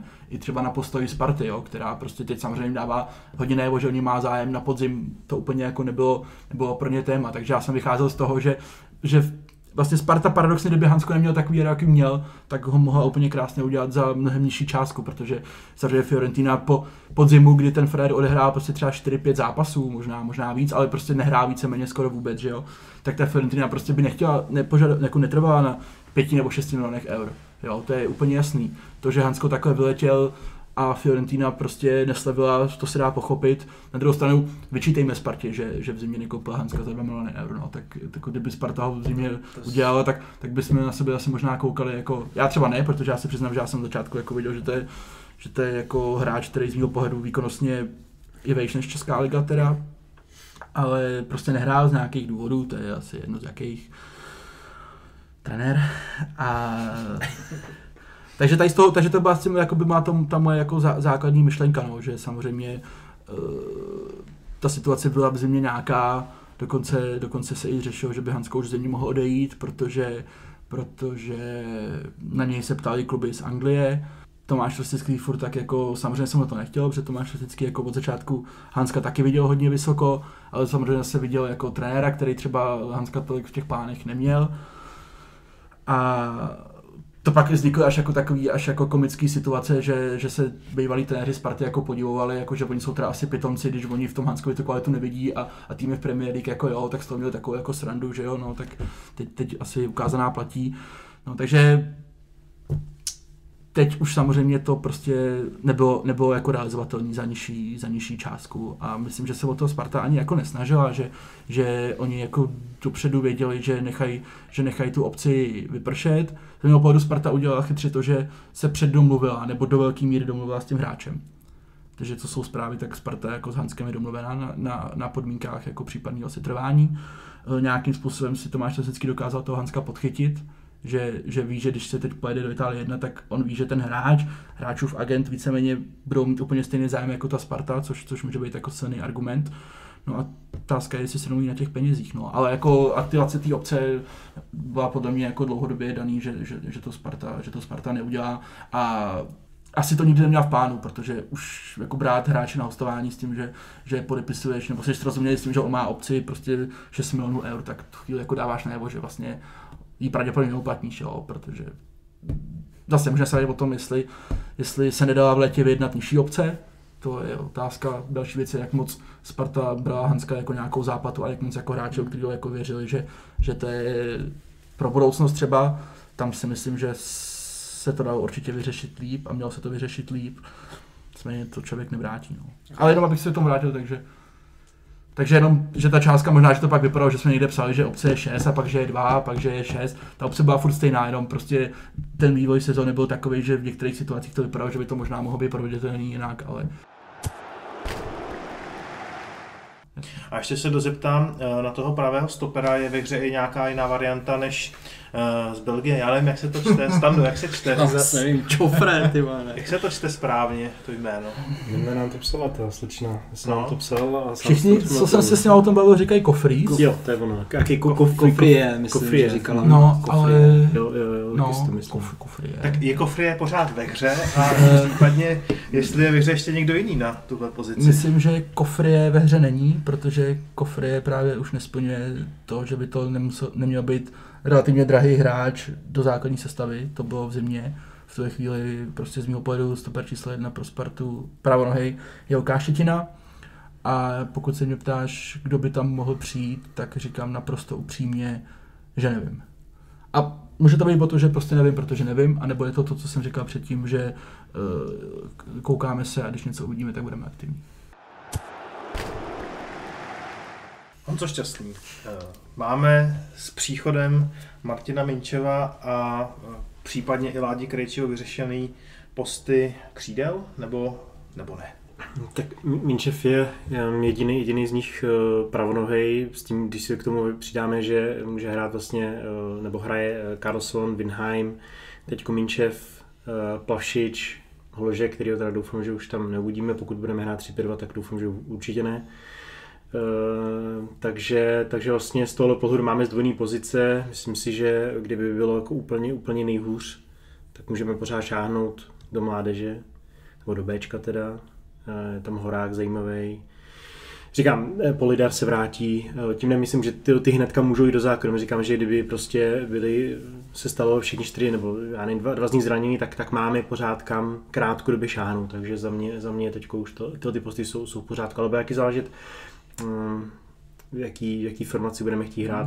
No, Stando, kdybychom hráli, navážeme 3-5-2, tak nakolik vlastně křídelní hráči najdou uplatnění v tomto systému. No, tak by můžeš hrát i 3-4-3, takový, jo, to se teďka hrává trošku víc, let's kde, takže můžou hrát i křídelníci a, a jako chodí dovnitř a ten zase, jako je to, je to složitelný, a, ale zase nepotřebuje těch křídel asi tolik. Takže to možná už je vyřešený, ale já jsem někde registroval, že myslím, že, že to byla nějaká schůzka s vedením, že, že ještě hledáme do ofenzívy nějakého hráče. Eh, A, a myslím si, že by to měl být podobný typ jako Minčev, to znamená ofenzivní univerzál. A to je vlastně odpověď na to 3-5-2, protože ten Minčev eh, je něco jako Hložan. To je prostě hroťák, co zahraje v oba- v obě křídla, teď hrál sezónu ty křídla spíš ale rozhodně to není hráč do základní sestavy. Jo. Prostě je to 19-letý kluk, který prostě jde na první zahraniční angažmá, že je potřeba s ním na něj takhle nahlížet a proto si myslím, že ještě někdo přijde taky.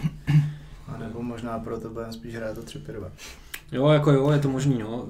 On je to prostě rychlej, silný fotbalista, takže eh, může hrát toho hrotového útočníka klidně. Ale já si spíš myslím, že eh, tam byla příležitost získat zajímavého mladého fotbalistu, za docela velký peníze, si myslím, Eh, tak jsme ho získali jako sázku do, budoucna, do budoucna, až odejde eh, Hložan. Takhle to cítím já, že to bude prostě třeba sezóna nebo půl sezóna, Hložek přestoupí a plynule by ho měl nahradit Minčev, takhle to jako vnímám. Eh, A proto si myslím, že přijde ještě někdo, kdo by třeba byl větší, jako ještě konkurence třeba pro, pro, pro plavšiče.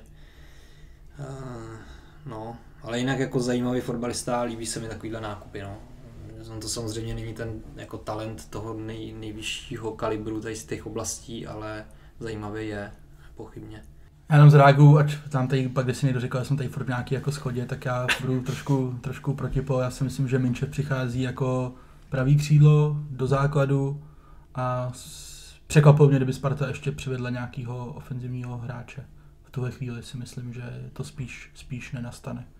Nebo myslím si, že z křídelní pozice, z mého, z mého pohledu, jako asi si pak ještě dostaneme třeba nějakému náčetu sestavy nebo něco, ale z mého, pohledu, z mého pohledu jako může hrát jak Minčev, tak Hložek, tak Carlson, jakoby třeba v té variantě 3-4-3, úplně, úplně jako v pohodě.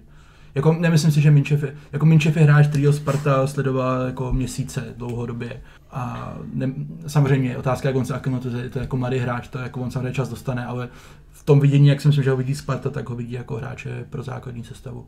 Pokud na to bude mít, tak jako okamžitě tam asi nebude. A myslím si, že ho vidí jako pravý křídlo. Potažmo pravý útočník v nějaký tý pseudovariantě 3-4-3, jo, protože vzhledem tady hodně mluví o tom 3-5-2, ale trenér Kotova to hodně vychází právě z toho tříobráncového systému, jak pak jsou dneska ty hráči nad tím, to už je samozřejmě variabilní a by se s tím dá jako různě, různě pracovat. Tam jde spíš o to, aby, aby on měl jako tu možnost volby a že trenér Kotova se nikdy netal tím, že on staví uh, tým a sestavu na základě soupeře, takže čím víc on bude mít jako variant i typologií, tak tím jako jemu se bude snáš, snáš pracovat.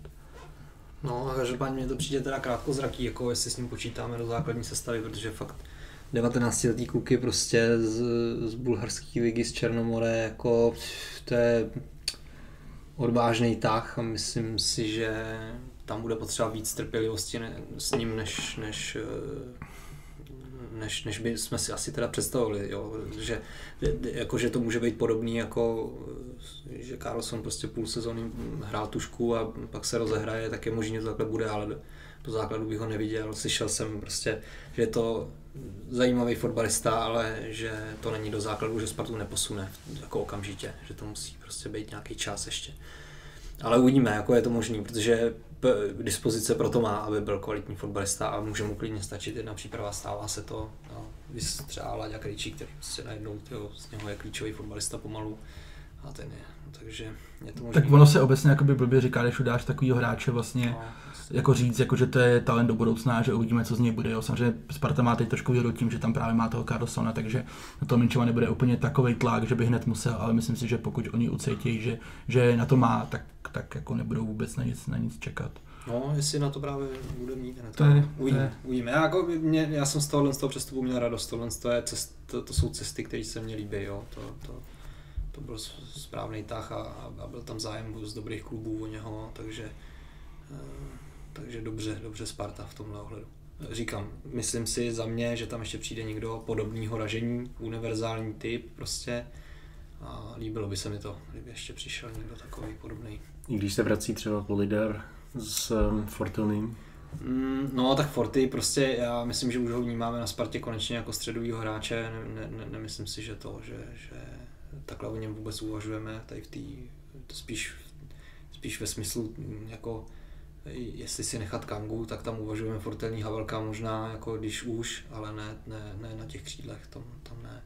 A ten, ten Polidar, no já myslím, že tam ještě potřebuje prostě hostovačku. Jako on vypadal teď dobře, ale že by jako Spartu nikam posunul, to zatím asi ne. Jako, že lepší než Plavšič není stoprocentně prostě. To, to, je málo který fotbalista z ligy a i když, i když má s Plavšič svý limity, takže když má ně, někoho takového ten fotbalista nahradit, tak to musí prostě být trošku jiný level. No.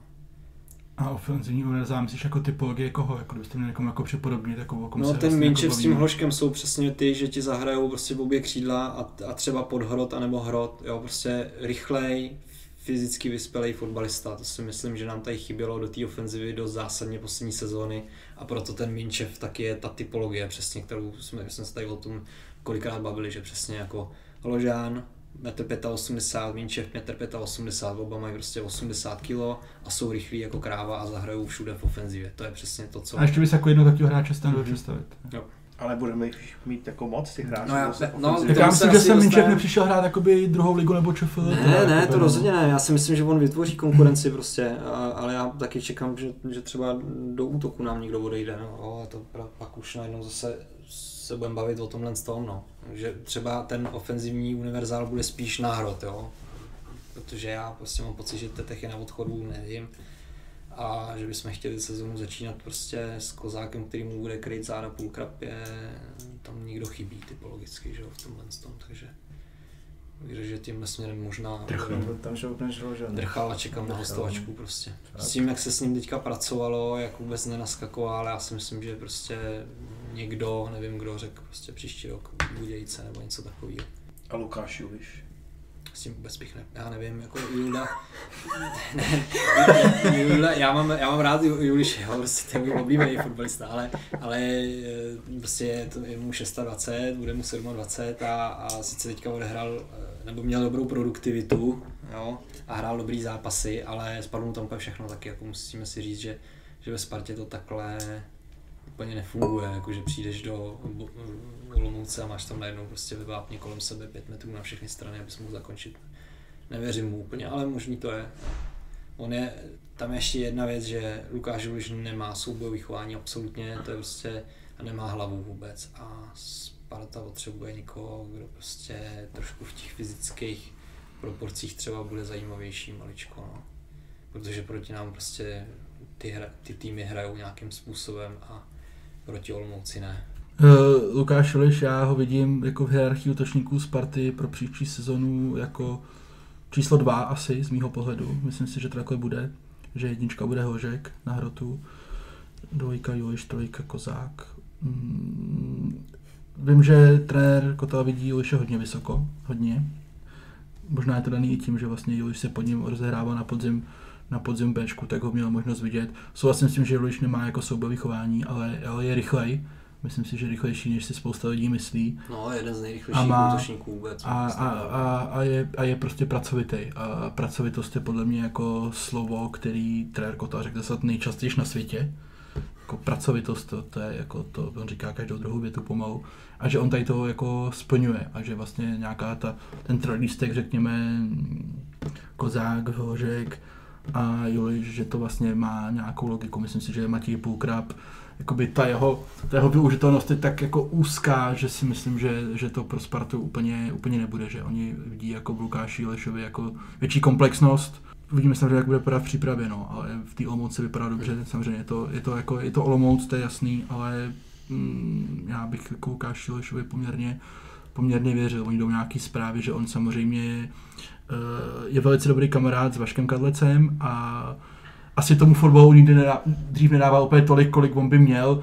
Jo, někdo, někdo si z něj dělal srandu, že, že jak měl to dlouhodobý zranění, že on to viděl v posledně na Spartě a ten vypadal jak, jak Rooney, jako ten byl prostě obalený jako válec, že jo. No a že říká se, že když on vlastně viděl Juliš, jako co se stalo tomu Vaškovi Kadlecovi, že ta kariéra prostě, jo, a on taky prostě mladý, má dítě, jo, že nemusí hrát jako do, do 35, tak prý jako hodně změnil přístup, jako extrémně.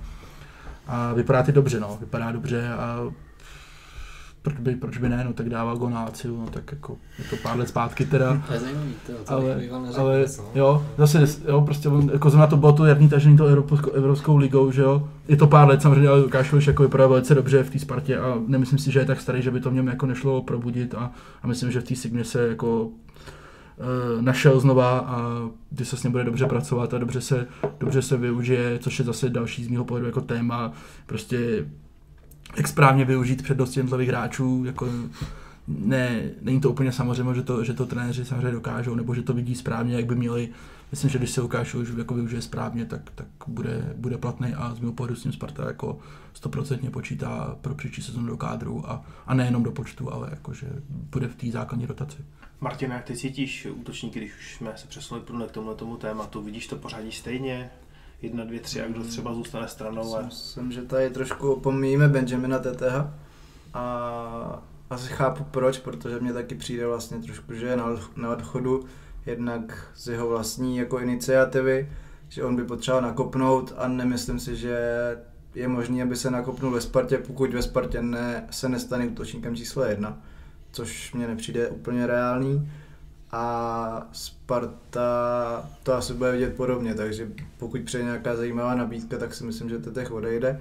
Co se týká Lukáše Juliše, tak to, co tady říká Honza, tak pro mě asi taky překvapení jako pro standu, spíš jsem tam viděl vejš to Matěj Půlkraba a to se jako uvidí, no. Mě, mně vlastně přišlo, Luká, Lukáš Uliš, už jste říkali, je mu 620 a když se chytil v té Olomouci, tak bych mu vlastně i sám přál, aby se fakt takhle někde jako už uchytil a hrál tam stabilně, než aby jako šel do nejisté pozice ve Spartě.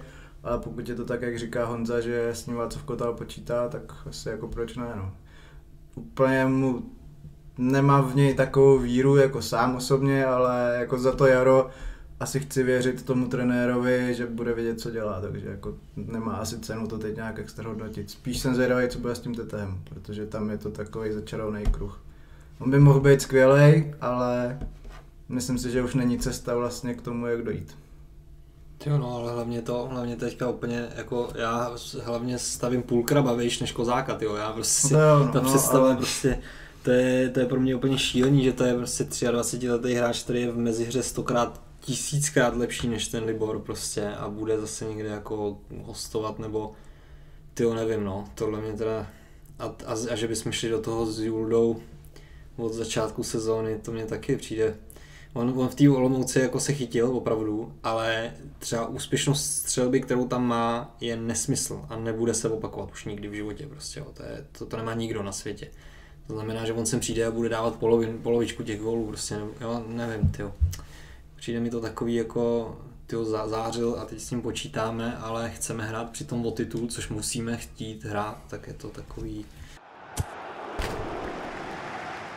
Honzo Šťastný, ještě jedna otázka eh, k útočníkům, pokud byste teda nechtěl doplnit i něco k tomu pořadí. Tak eh, nebojíš se třeba, kdybychom některého z eh, našich útočníků prodali jedno kam, takže by třeba s nějakým spožděním půl roku, rok skončil třeba u někoho z našich eh, konkurentů, protože když se tak lehce rozhlédneme, tak tam by prostor byl třeba, že jo, i v Plzni tam, že jo, Bogel teďka se asi v Čechách úplně necítí nejlíp, pak mají chorého a nikoho, že jo, tak tam by se to nabízelo, no a jiný kluby radši nebudu zmiňovat. No, eh, mm, řekl si to přesně. Eh, Jako samozřejmě nemůžeme tady držet 60 hráčů s tím, že aby, aby potom nešel někam jinam, aby nám nezačal dávat goly, jo, to je jasný. Na druhou stranu mě Honza překvapil s tím, eh, s tím Julišem, takže já jsem vlastně, mm, dneska jsem vydal jeden článek, kde je nějaká jakoby bilance, řekněme, jak, jaký máme hráče, na který posty a tak dále. Já tam teda spíš operuju s tím, že, že drchal asi hostování, takže pravděpodobně na odchodu, ale že si právě necháme půl kraba. Takže tím, tím si mě um, Honzo překvapil. Já koukám na ty statistiky, uh, tak uh, jako Juliše má upřímně hrozný. 26 let, 72 zápasů, 17 branek, ale je pravda, že ve Spartě ho dlouho stavil na křídlo, což prostě tam, já vím, že tam zahrál jeden dobrý zápas v Evropské lize, ale jinak je tam prostě špatný. A samozřejmě spoustu zranění, které ho jako limi- Ale víc gólovým i přes tečko to jaro mi, mi přijde půlkrab, takový ten, taková ta buldočípová, takový ten tah na tu bránu, že má půl ruka prostě lepší, ale OK. A to uh, s tím, že, takže bych se trošku bál, že třeba tady si, jestli od tady půlkraba, uh, nevím, jestli bych chtěl jít někam hostovat, uh, zase, nevím. Pokud jo, ne, teda pokud ne, tak se klidně může stát, že ho třeba jako se pokam, že nebudeme tak hloupí, aby jsme ho pustil do Plzně nebo třeba do Slávy, ale dovedu si představit, že se přes nějaký jiný tým tam klidně za rok může, může objevit a to, to by pak bylo nepoučitelný dva. Takže jo, a Plzeň teda se nabíjí hodně, tam pravděpodobně pokud opravdu jde Boga, tak asi nem, nemají nikoho, no, já nevím, jestli tam může hrát Mihálik možná, ale jako chorý, no. Takže tohle bych se trošku bál. Těme nerať Plzni, protože Mihálek, Mihálek na hrotu, to je ty vole vynikající volba, oni to ještě nezjistili, ale ty Myslím, že tam jednou, jednou střídal, Jako- ale jinak nic. No. On, on, se mi tam hrozně líbil v Jablonci, prostě tyjo, ten dá, tyjo, fakt umí dát gol z let, čeho je strašně rychlej, takže to, to, je dobrý hráč jako, jako král. Hmm. Teď, teď, teď, vypadal dobře poslední zápasy, myslím, docela. No, ale tyhle nepouštět konkurenci. Ne, tak Sparta samozřejmě principálně jako by se musí koukat, jako oni si musí říct, s jakýma hráčima to chtějí do útoku hrát. Ty tam musí si v tom kádru nechat, pak samozřejmě pro ně bude nějaký vysvědčený výsledky a předvedená hra, to je jasný, ale pokud prostě s nějakým hráčem nepočítáš, tak prostě si zatím stůj a, a nemůže, přesně nemůže Sparta schraňovat 8, 8 útočníků, to je, to je jako nesmysl.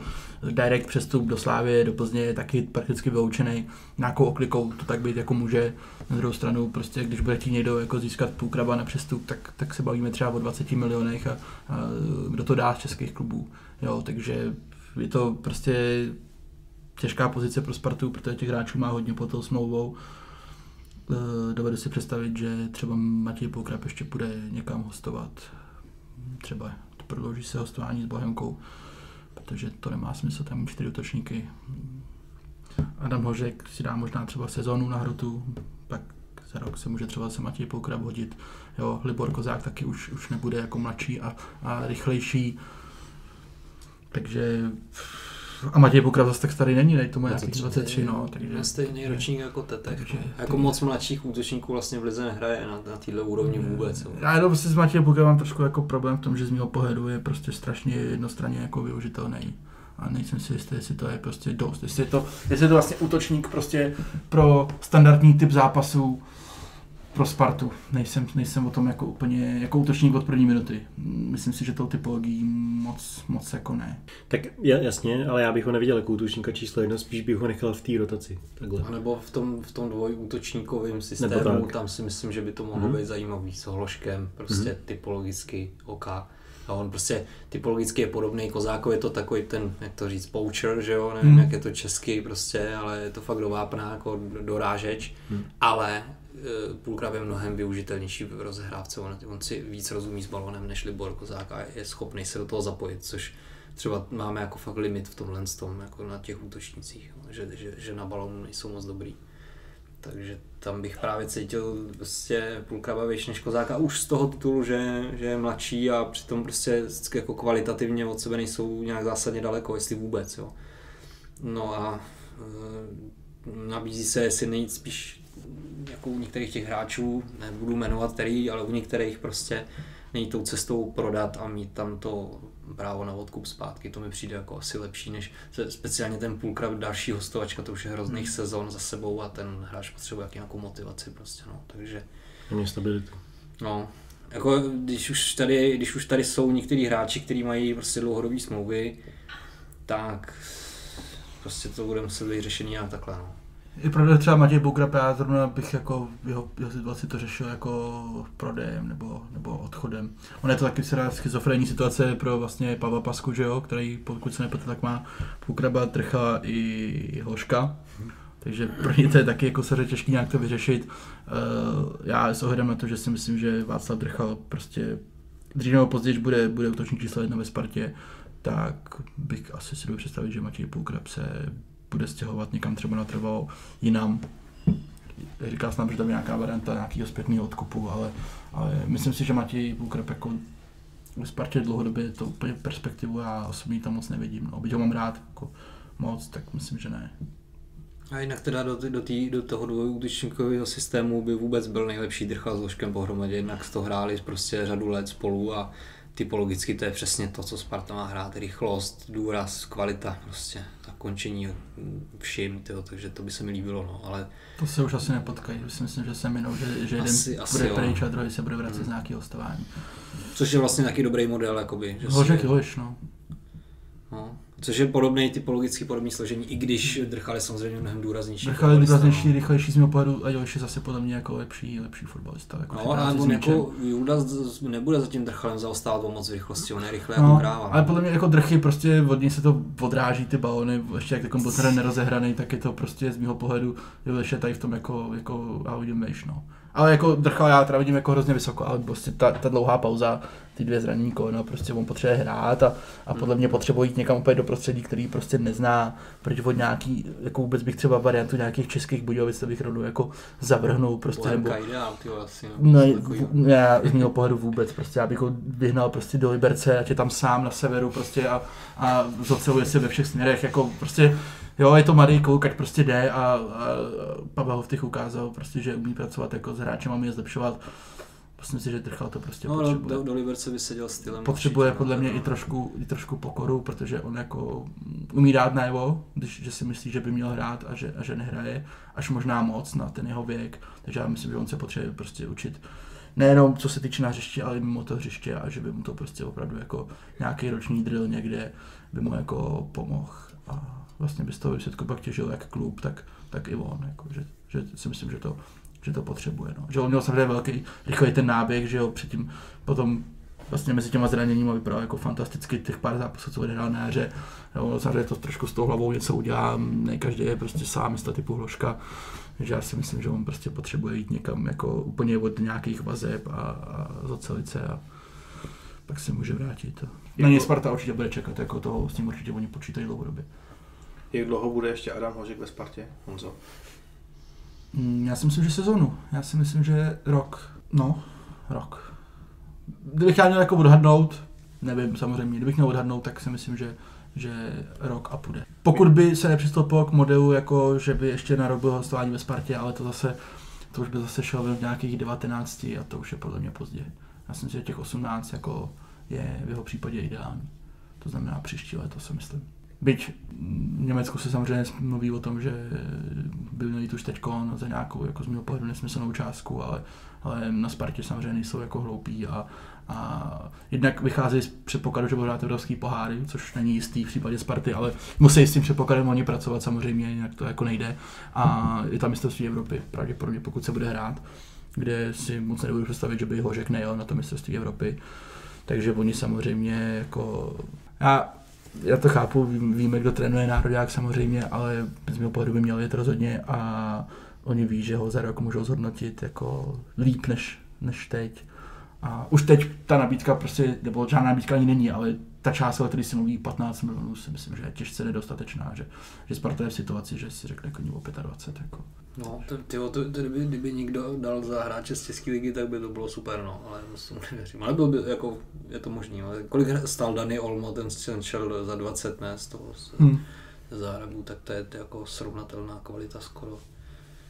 A navíc z chorvatské ligy, odkud chodí dlouhodobě kvalitnější fotbalisti, takže to by mě překvapilo, kdyby jsme se dostali vejš, ale bylo by to super myslím si, že by to tu ligu mohlo nakopnout i ve smyslu, že tady bude víc zájmu o ty hráče. No. Protože pak Kanabec bude za 30, že jo.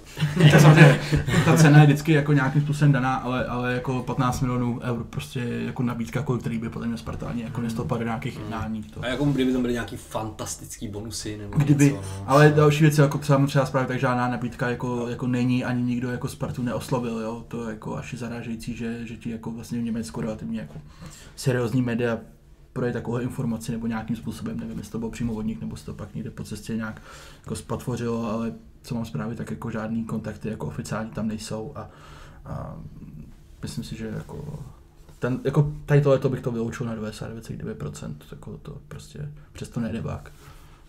Pokud nepřijde Manchester City a nepoloží 40, no ale to se asi nestane. A kdyby to byl Arsenal, tak víš. No. Tak já myslím, že sportovníci toho Sparty dobře vidí, co se v Arsenalu děje. A... No ale Hložan by to, to by si asi Chci dal mu ukončit kariéru. Ne, tak do ofenzivy jsou docela zajímavý, ale Myslím, že Arsenal, Arsenal by nepřivezl 40, ty by přivezli tak 15 a, jednu. Si pamatuju, jak když si Nějakýho stopera by nám mohli dát, ty vole, to bych No. Holdinga třeba, nebo Luise. si pamatuju, jak když si Wenger v Arsenalu se snažil aktivovat výkupku Suareze tím, že on nabal 40 milionů liber a on dal 40 milionů a jednu libru navíc, jako a myslel si, myslel si, že udělá transfer, jako no, takže, takže Arsenal ne, to jsou taky takový umělci, že Ještě jsme neprobídali střed pole, tak eh, Martine, když bychom začali u pozice číslo 6, u Ládi Krejčího, potřebujeme k němu ještě někoho na backup, nebo si vystačíme s tím, co máme, znamená, ať už Michal Trávník, nebo třeba Filip Havelka, nebo hm, jak to vidíš? No, si myslím, že ani jeden z těch hráčů, co tam Kláďovi Krejčímu máme, tak prostě není typická šestka do toho rozestavení, který jsme hráli teď. Takže pokud by měl přijít někdo do středu zálohy, tak na tuhle pozici. Bavili jsme se o Davidovi Pavelkovi, asi to by to mohlo být řešení, ale filozofie Tomáše Rosického byla přivádět jakoby eh, mladší hráče s větším potenciálem a budoucností.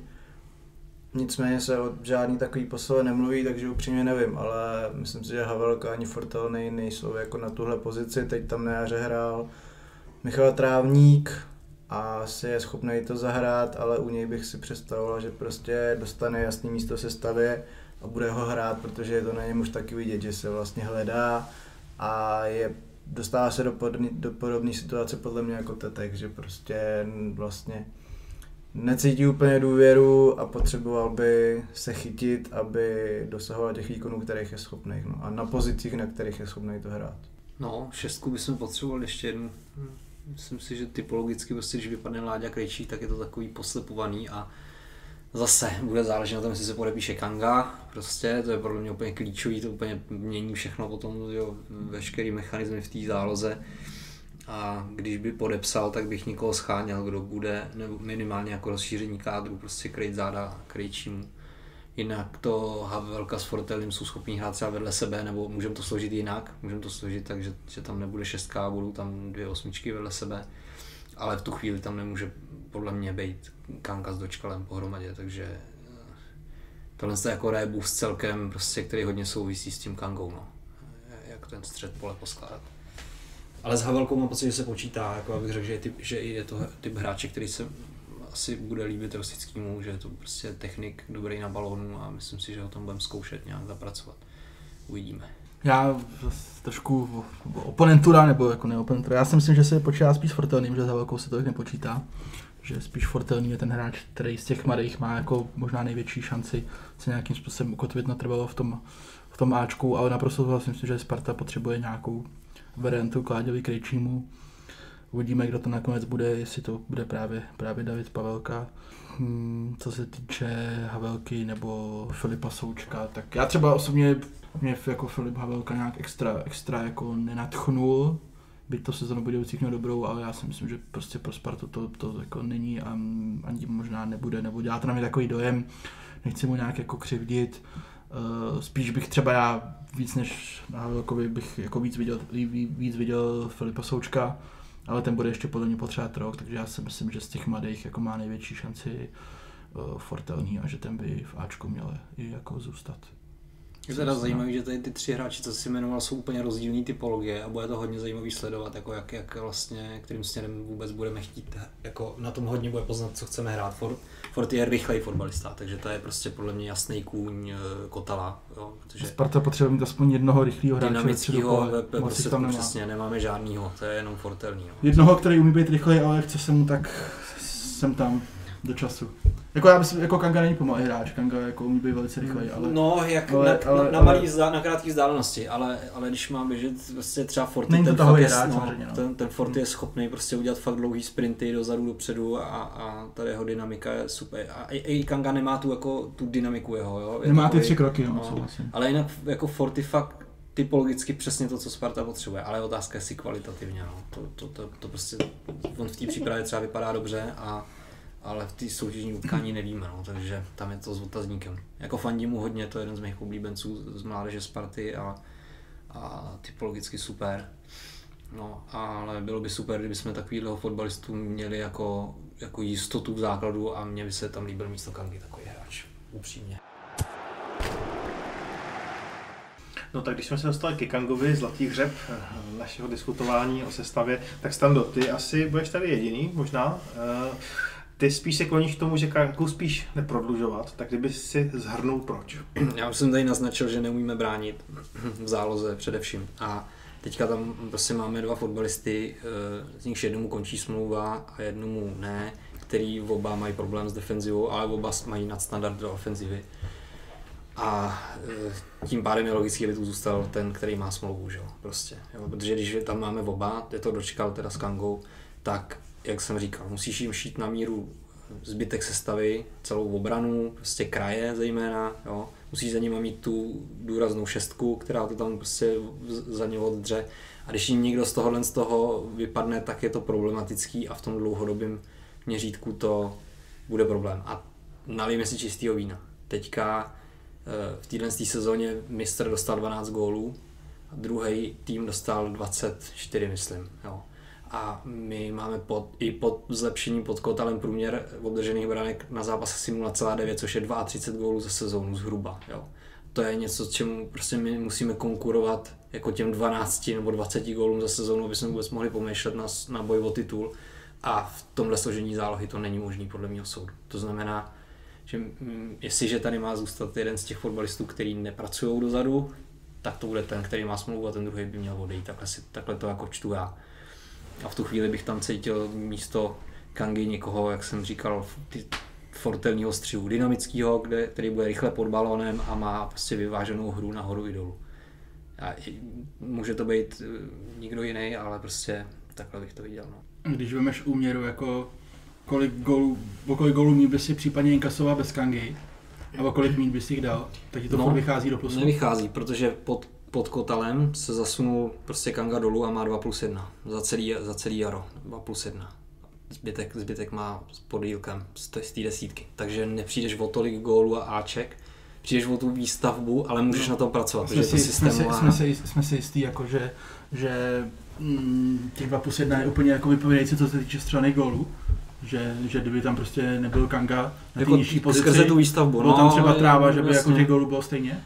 To asi je možný, že ne, ale zase méně dostaneš. No. A já si myslím, že to je ale spíš o tom, že je to systémová věc, že, že prostě je lepší tam prostě dát hráče, který má vyváženou tu hru a pak, na tom, a pak to drillovat a pak jet prostě a nespolehat se na toho jednotlivce, protože pak se ti stane to, že vypadne a musíš jako improvizovat, že? jo. Když Kanga nebude hrát, tak prostě s tím budeš mít problém. Když to, když to budeš stavět na tom dlouhodobějším horizontu, budeš s tím počítat, že, že musíš pracovat na systémový, systémový výstavbě hry a ne na, na výstavbě hry, která stojí a padá s jedním fotbalistou, tak je to výhodnější dlouhodobě určitě. Takhle, to, takhle si to myslím já. Je to samozřejmě e, taky, jo, teďka odejde Kanga a musíš to řešit a není na to moc času, to znamená, to je jako silný argument, že jo. No, ale mě byste potřeboval co nejdřív vědět. Jestli to budeš hrát tak nebo tak. No. Ale tak ono by samozřejmě bylo nejlepší, abys tam měl fotbalistu, který má třeba, já nevím, řeknu 70 nebo 80% výstavby Kangy, a, ale plus ale těch 30%, c- co tam, co tam nemá, vezmeš a dáš jí do, do defenzivy. Prostě vyváženějšího fotbalistu. No, prostě. Je to otázka, no. Ale myslím si, že, že prostě v tomhle složení o titul hrát Sparta nemůže. No a varianta třeba, že by si Kangu vrátil na desítku a Za mě nej- třeba jo. fortelný a No, ale máš A dočkal. Máš dočkala a on No, tě tak- na lavičce. A když bude, tak Proto říkám, že tam, je, že tam jsou dva tyhle ty hráči, který bych oba stavil na tu pozici té desítky prostě. A jeden z nich má smlouvu a druhý mu končí. To znamená, že logicky pro mě je prostě jednoho z nich jako vyřadit a pracovat na tom, na, na výstavbě na, na toho dočkala, který furt je vysoce rozdílový v té finální fázi. I když je pravda, co říkal Honza Vacek proti té slávy, dá se na tom systémově pracovat. Prostě a on ti dá tu finální přihrávku, jako to udělal v Plzni na toho, na toho kozáka, prostě tohle to má. Takže já, kdybych si měl vybrat mezi, mezi doč, dočkalem a Kangu, tak si beru Kangu. Z různých důvodů. Ale teďka ta otázka takhle nestojí, že? protože ty smlouvy. to je otázka, tak jak si ji postavíš?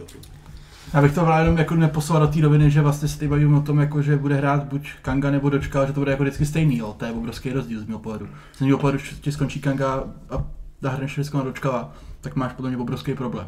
Když to by, by to bylo naopak, tak si myslím, že naopak jsi na to ještě jako líp, ale tak to je můj nějaký názor.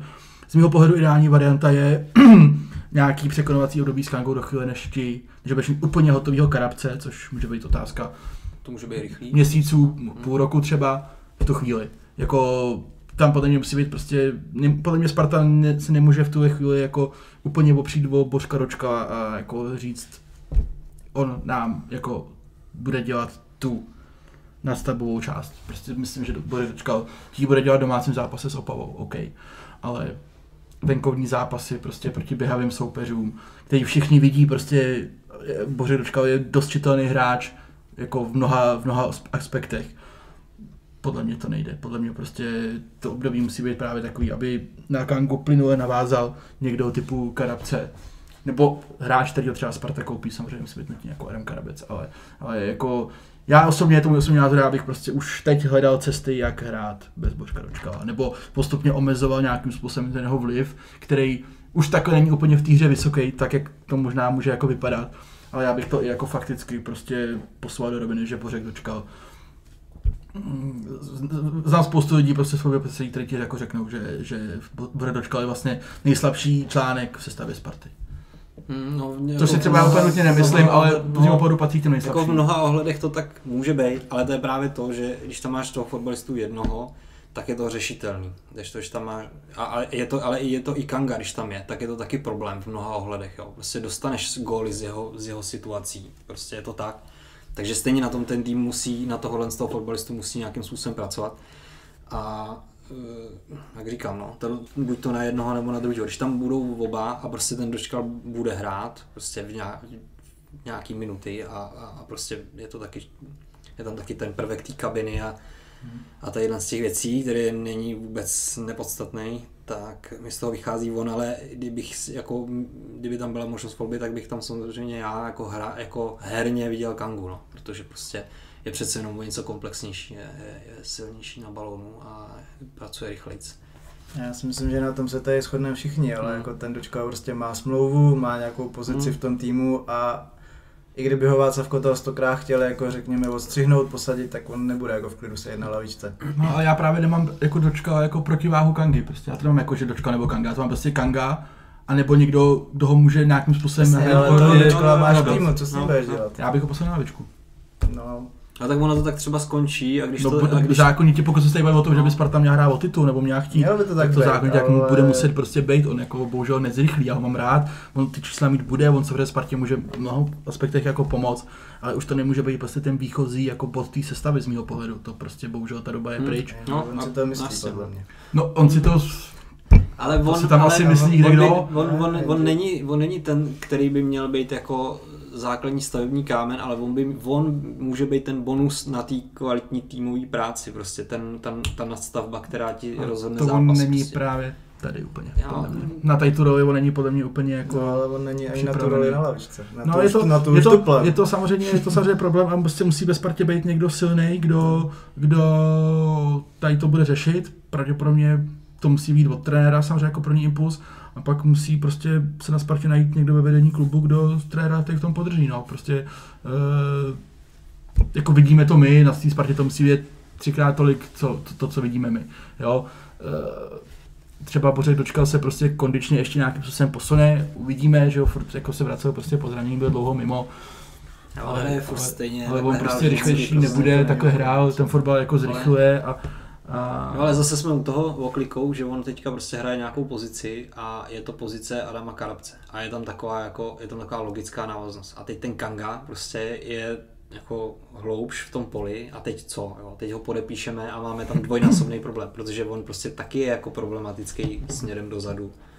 To znamená prostě, zase to bude muset nějak řešit. Tam je problém, za jak dlouho dokážeš ty nahradit tu kangovou výstavbu. že? No, Když- nepochybně, ale já si myslím, jestli- že, že to, že, eh, že na to jde jako Václav Kotal vlastně dobře odzadu a že, že, že se to na to jako nabalí, protože i teďka, když tam ten, samozřejmě Kanga má ten, Kanga má tu nadstavbu té přesnosti a toho, že se s tím, že, že prostě, že prostě ně, něco vidí, ale pomohlo mu eh, i systém, co hraje, co hraje Kotal. Prostě je tam větší nabídka, to všichni vidíme, prostě, že ten pohyb je lepší a je, a je jedno, jestli je tam Kanga nebo je tam Trávník.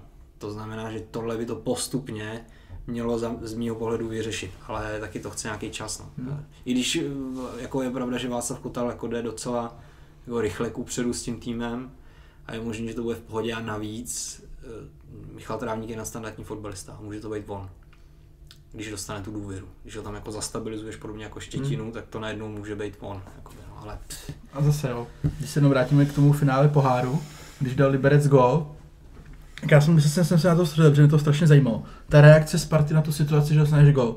Ty frajeři úplně zatuhli, proto taky tam okamžitě byla ta druhá šance toho, toho Rondiče, myslím, že to byl Rondič. Mhm. A, a byla to nějaká třeba pětiminutovka. A jediný hráč na tom hřišti, kdo prostě chtěl balon a chtěl hrát. A ukazoval se a neschválil se, byl prostě Kanga. Všichni jakoby tam prostě nebyli.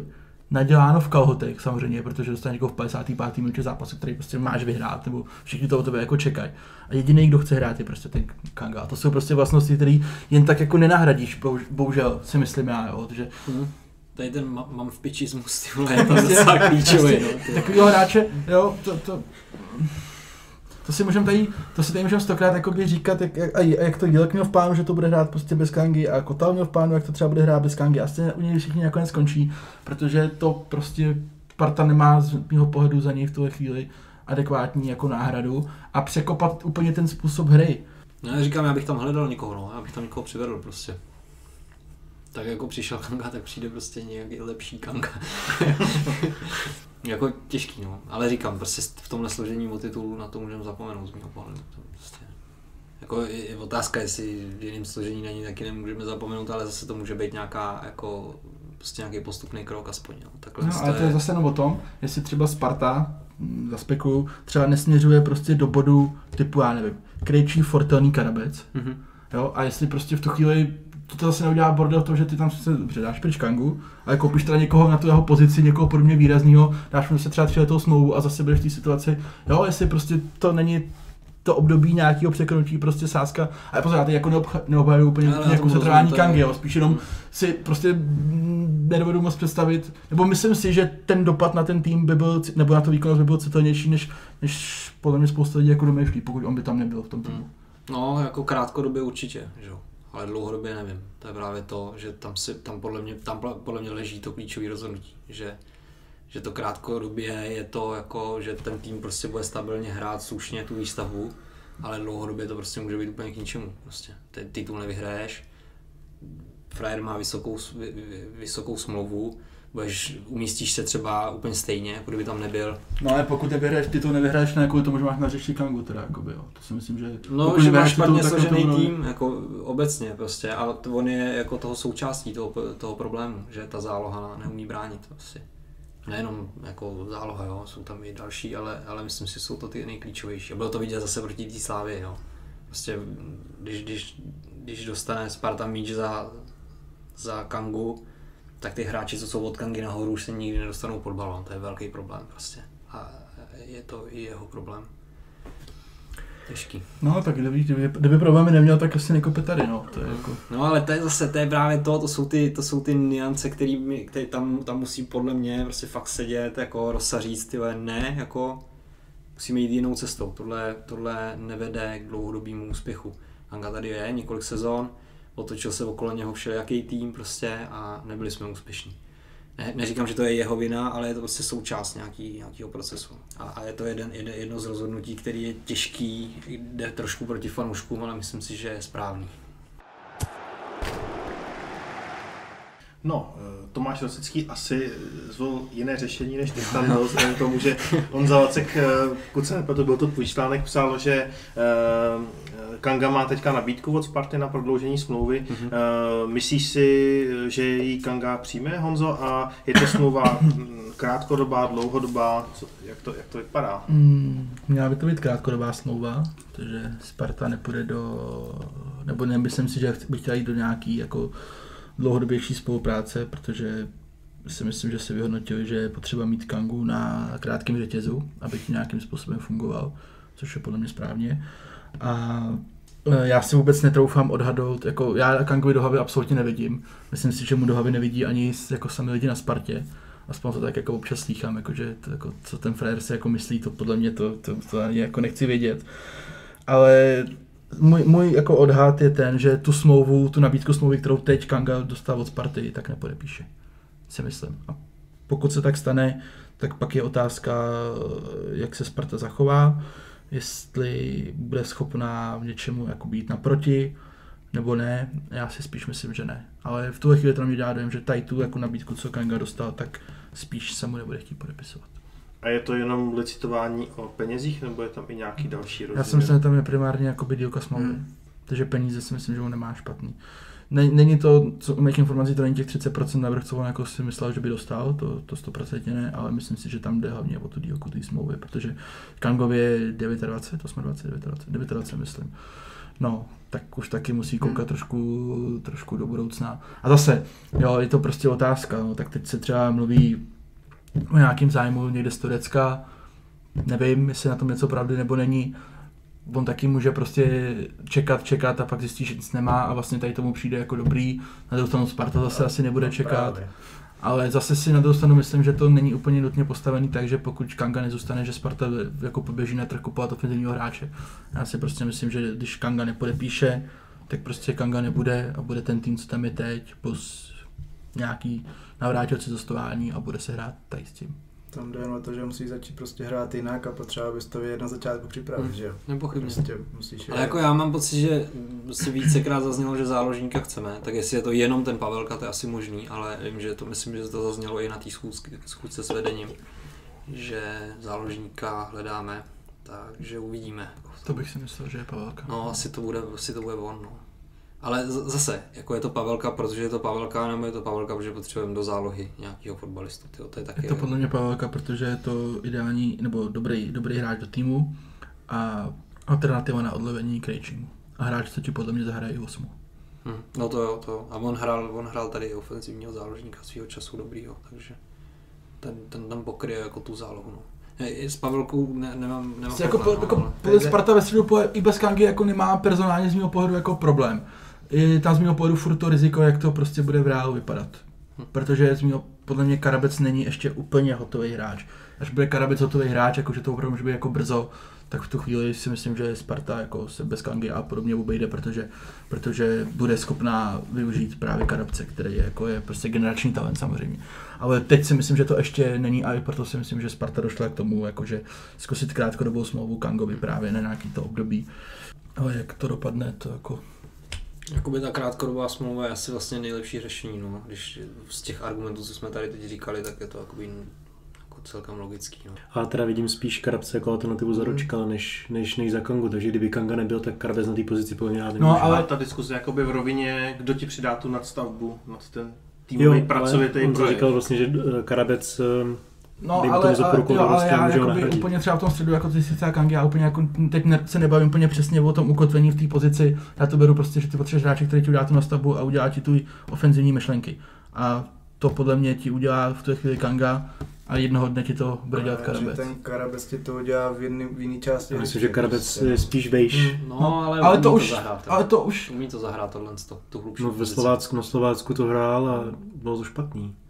No špatný bych úplně neříkal, ale tak je mu furt 17. No, no jasně, já vím, jako, ale mě, je, já, já o tom jakoby... A on samozřejmě je nejlepší, prostě když má před sebou jen, no, jako, jasně.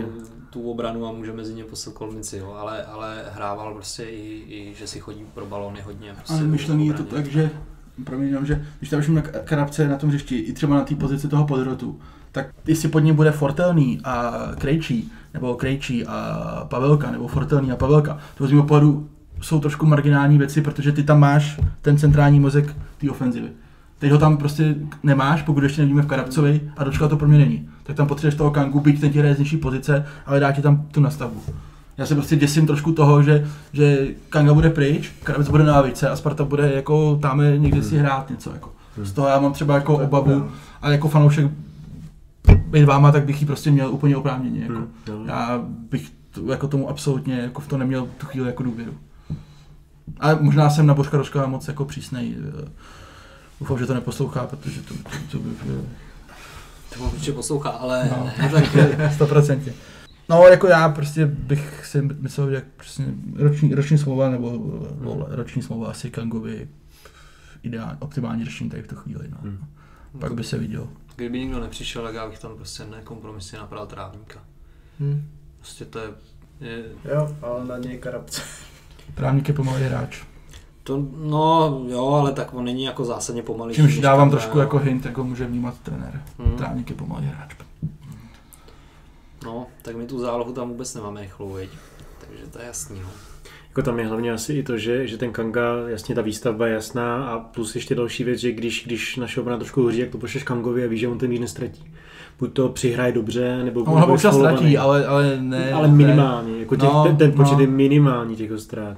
No, jako, je to teďka lepší, jo, ale, eh, ale ztratí balon. Ono tam jde spíš o to, že on si, on si jako na tom balonu věří a je na něm silný, ale ne vždycky mu to rozhodčí pískne, že? jo, takže občas to z toho je fakt nepříjemná Ok, situace. ale no. je teď ve Spartě jiný hráč, jako by víš, že Hmm. u kterého jsi si tak jistý, neberu stopery nebo Hanska konkrétně, ale jinak jakoby dopředu, komu víš, že to dáš, kdo ví, že se ti vždycky nabídne a je tam OK, tak když ne vždycky, tak máš- 90% šance, že, že jo, víš? Teď máš takový hráče dva jakoby dopředu, no, jak jeho a Hloška, jako víceméně, jako u nikoho jiného to jistotu jako úplně prostě nemáš. Docela bych řekl, že Krejčí to- se tomu blíží, že, že tento na sebe začíná brát, ale taky občas ještě ztratí, no, Hmm. taky to není úplně stoprocentní, ale ten si v to, ale v tomhle tom je právě silný Filip Havelka, v tom je, v tom, jako, já, on je takový nejnápadnější fotbalista, ale to je hráč, který eh, si umí pře, a chce přebírat eh, i pod tlakem balony a umí to, že má jeden z nejlepších prvních doteků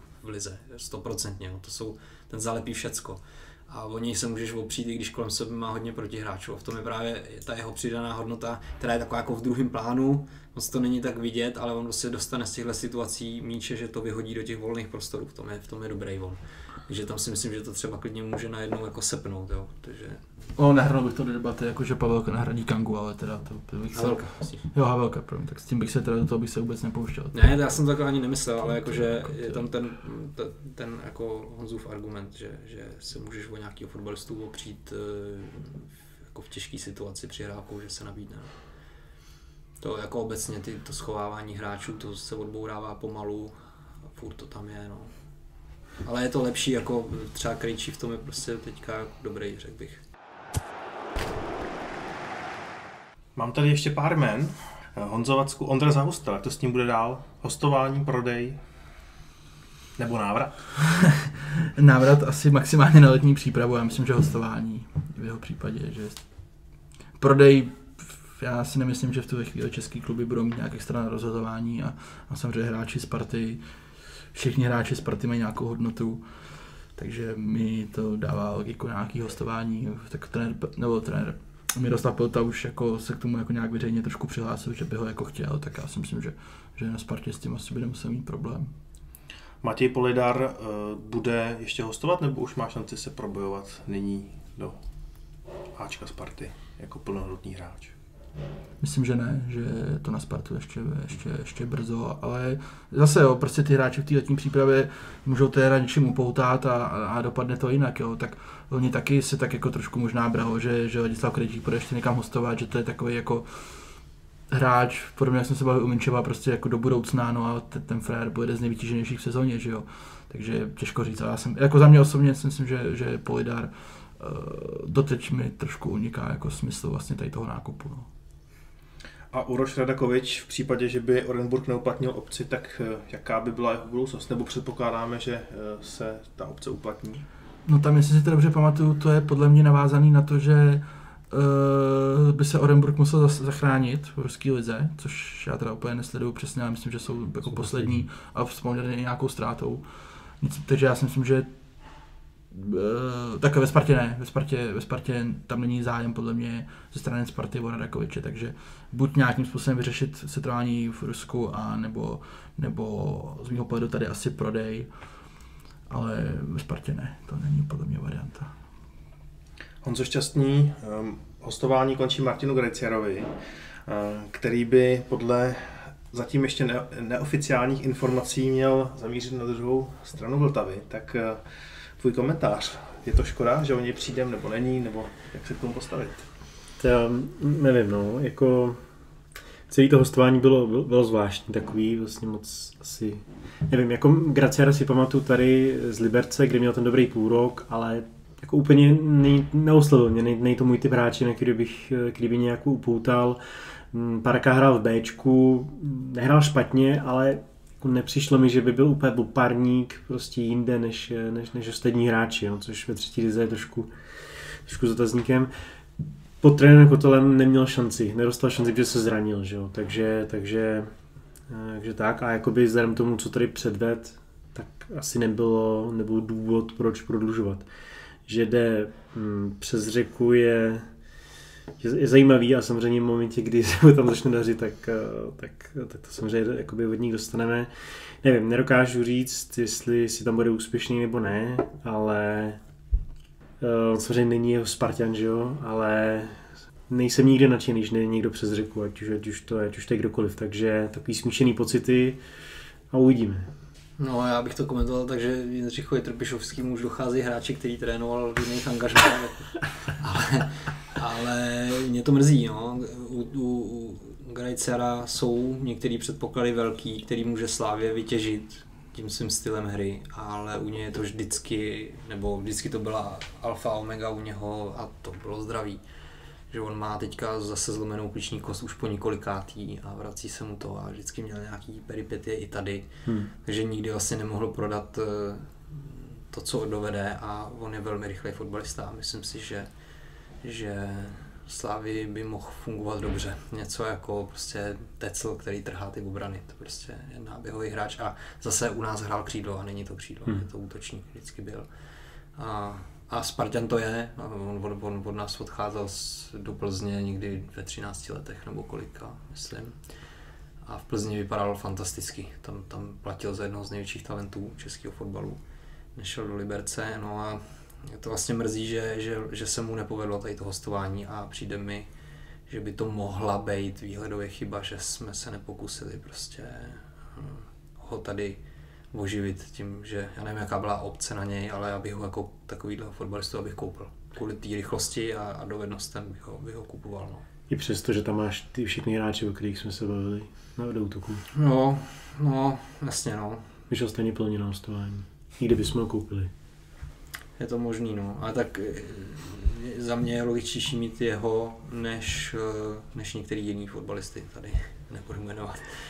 Ale, ale ne, ale, ale už ten, jakoby ten argument toho věku je taky důležitý, jo. Prostě, eh, když se bavíme o Lukáši Ulišovi nebo o, o Liboru Kozákovi, tak jsou to hráči, který prostě jeden z nich vstupuje do, do píku, kdy má odehráno prostě dohromady jednu sezónu prostě a druhý vstupuje do, do podzimu své kariéry. Julda má kolik minut? 70 zápasů. No ale kolik má minut z toho? Jsem, myslím, že to bude sezóna. Tak detailní to nemám. Myslím si, že to bude málo minut. Jo. Že to není jako, takže bych radši sázel na mladšího fotbalistu, který má ty předpoklady, než obráceně, ale to je takový, jako to je spíš takový můj jako subjektivní přístup obecně. No.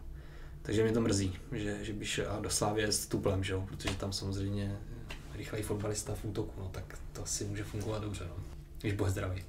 A pro mě Martin Grecer je de facto zbytný hráč a jeho přesun ve mně nevyvolává absolutně žádnou, žádnou emoci. Jako, nevidím v něm to, co standa.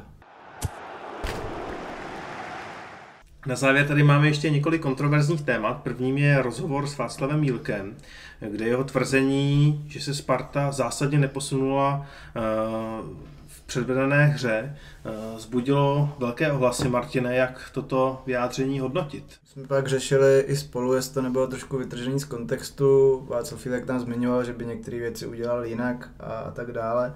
Nicméně tahle citace tam prostě zazněla úplně natvrdo a nepřijde mi vlastně po tom, co Sparta předvedla na podzim, jako od něj vůbec přijatelná. Uh, myslím si, že, že měl zůstat u, toho, u těch tvrzení, že sám udělal chyby a že Sparta prostě teď udělala body a to ta ukázaná platí. A myslím si, že ta hra pod Václavem Kotalem se, ať tady třeba Standa mluvil o tom, že nám nebrání záloha a podobně, tak ta hra se posunula, je tam daleko větší nabídka, pohyb, ten tým vypadá úplně jinak, vypadá mentálně úplně jinak. Zase se vrátíme třeba k tomu, co Václav Fílek kdysi zmínil, že nepotřebuje ten tým motivovat a podobně.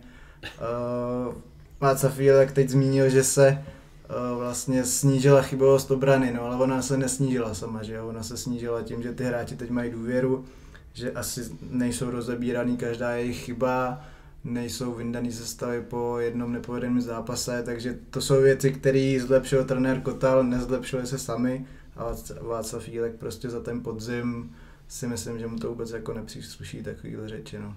Dopoď. No, je pravda, že, že eh, něco takového nemá říct, jo, protože se mu to vrátí jako boomerang. Když je to ale řečeno, tak eh, jako herně se Sparta neposunula zásadně, v tom má pravdu. Posunula se v detailech a posunula se v hlavách. Jo. Já si myslím, že eh, a je to, je to prostě vidět, já nevím, ne, je, je, to, je to prostě, je to můj názor, ale je to tak. Prostě posunuli se detaily, ale ukazuje se, že ty detaily minimálně ve Spartě jsou klíčový naprosto, že prostě to, že je obrana o dva metry vejš, prostě a tady ty věci jsou důležité. Ale myslím si, že, že ten největší rozdíl je v hlavách hráčů a třeba jako chyby eh, jednotlivců, tak jakým způsobem je ten trenér ovlivní. Eh, když Václav tak říká herně, tak tak v tomhle tom je, je to fakt, jo, že, že prostě ten, ten jako herně, eh, co způsobí to, že Lukáš Štětina nedělá prostě x chyb. Když mluví o hře, tak je to vlastně jako blízko pravdě, mýho pohledu. Je to samozřejmě nešťastně řečení, jako vždycky všechno, co říká Václav Vílek, ale není to zase tak daleko od pravdy. No ale eh, když už je řečeno toto, tak zase je, je fakt, že ty, že ty klíčové detaily eh, Václav Kotal rozklíčoval mnohem líp a, a velmi rychle a vyřešil je a pomohlo to, to tomu týmu. No, třeba i, mm, já nevím, že mm, ta obrana je vejš, tak těch chyb potom nemůže udělat tolik třeba, jo, tady ty věci, no. A, nebo to, že posunul Kangu na té hlubší pozice, to taky bylo jako, tomu týmu to pomohlo, no. Ale to nejsou jako, když se mluví o hře jako hře, jako komplexně, tak to prostě opravdu jsou detaily, no. A kdyby jsem to trošku změnil, tu otázku, tak kdyby tady Václav Fílech eh, trénoval touhle dobu, tak kde bychom byli tam to podle tebe? My jsme to tady říkali, myslím, někdy v té době, kdy jsem přicházel Václav Kotal, eh, nebo nastupoval do Sparty, že, eh, že ten rozdíl, jestli budeme třetí nebo čtvrtý, prostě, že by to bylo podobný, ale je to otázka, no já fakt nevím, jako nerad to takhle shodnotím. Řekl bych, řek bych, že, řek bych, že bychom na tom nebyli minimálně v hlavách tak dobře nevyhrávali bychom tak stabilně, protože prostě Václav Vílek se ukazoval v, těch, v tom konci toho angažma jako uh, labilní prostě trenér. No. A že, že vlastně největší rozdíl je teda ten, že Václav Kotal je klidnej, klidná síla, prostě, která tam nastoupila a více kolem něho jako ten tým začal prostě jako točit tak, jak má. No. Takže v hlavách bych viděl větší rozdíl než ve hře, takhle bych to jako schrnul. S tím, že to teda vůbec nemá jako říkat, že po, po nepovedeným angažmá to nemá vůbec vyslovit takovouhle věc. Můžeme o tom tady debatovat, ale je to ne, nekoligiální a, a prostě a neprofesionální. No. Ne, tak z mého pohledu asi na úvod je potřeba jakoby říct vlastně, co tady srovnáváme. Jo. Srovnáváme tady prostě trenéra, který měl s tím týmem dvě vlastně kompletní, kompletní přípravy, s trérem, který vlastně přišel v rozběhnutý sezóně de facto bez možnosti jako v personálně toho týmu sáhnout, bez nějaký, bez nějaký možnosti s tím týmem delší dobu prostě pracovat, když nebereme tu, tu, tu pauzu, že jo, kvůli koroně, kde to nějak pak jako šlo a bylo to furt takový, takže ty, jako ty výchozí pozice jsou naprosto jako neporovnatelný. To vyjádření, já si myslím, že Václav Fílek doteď ještě, že ještě doteď prostě on jako si nevyhodnotil sám v sobě, že to primárně bylo jeho selhání. Že on podle mě furt jako má nějaký pocit, že vlastně on to dělal všechno dobře, ale ty kolem něj jako prostě mu házeli klacky pod nohy, což si myslím, že pokud on tady z toho myšlení se vymaní a uvědomí si, že prostě to byla primárně jako jeho chyba, nejenom jeho samozřejmě, nejenom jeho to ani náhodou, tak si myslím, že má z části vyhráno. A já prostě nesouhlasím s tím, že jsou to detaily. No. Z mého pohledu, když prostě přijde trenér, Kotal, a vsadí ti na jednoho golmana, vsadí ti na dva stopery, který na podzim nehráli, vsadí ti na křídlo, který na podzim nehrálo, tak to jsou čtyři hráči z 11, to je přes 30%, to z mého pohledu jako není detail, no. to je podle mě změna jako kráva, čistě jenom personální. Jo, a trenér se z mého pohledu ukáže dobře i v tom, že nejenom, že si dobře vyhodnotíš, jakýho máš udělat hráče jako posilu, ale i prostě dostaneš ten nejlepší z těch hráčů, který máš. Vůbec dokážeš úplně elementárně vyhodnotit, to je hráč pro základní sestavu, to není hráč pro základní sestavu. To podle mě jako, to, to, to není detail. Já neříkám, že Sparta udělala nějaký galaktický posun dopředu, to 100% neudělá, ale co se týče organizace hry, co se týče pracovitosti toho mužstva, co se týče nějaký jako atmosféry vůbec v tom týmu, aby tam bylo vytvořené nějaký jako pracovní prostředí a konkurenční prostředí, to je z mého pohledu jako obrovský skok. A není to skok, který stačí na titul, nebo který stačí na slávy, to, to stoprocentně ne, ale, ale bavíme se opravdu o jako relativně krátkém úseku, který byl ještě dost jako specifický, takže z mého pohledu tady to zabrání by bylo třeba fair dělat ho v zimě, nebo třeba za rok, pokud trenér Kotel bude za rok trenér Sparty samozřejmě. A, ale já teda v tom, jako v ten posun vidím teda jako výraznější. A dobře, může, já rozumím, jak ty to myslíš, může se o slovíčku jako herně, že třeba herně se to myslel. úplně třeba jako není, ale z mýho pohledu prostě trenér Kota udělal přesně to, co Sparta v tu chvíli potřebovala. Prostě stabilizoval nějakým způsobem obranu, dal t- tomu týmu nějaký řád, ale máš toho maximum. Jako po zápase s Libercem, jestli my si ty tady jako budeme říkat, že kdyby zůstal ten Rýlek, tak je vlastně jedno, jestli je Sparta třetí nebo čtvrtá. Ty vole, podle mě by Sparta byla třeba dvanáctá, jako. A jako bez legrace. Jako bez legrace, naprosto bez legrace. To vůbec jako nějak nepřeháním. Takže to mi přijde jako bavit se o to, jestli jako třetí nebo čtvrtý. Ale jako, myslím si, že Sparta vyhrála po jako tam jako dost zápasů, byť v začátku samozřejmě tam, tam měla vlastně tři, snad tři zápasy nebo čtyři zápasy vlastně. To nepovedlo. Se to nepovedlo, pak vyhrála strašně moc zápasů.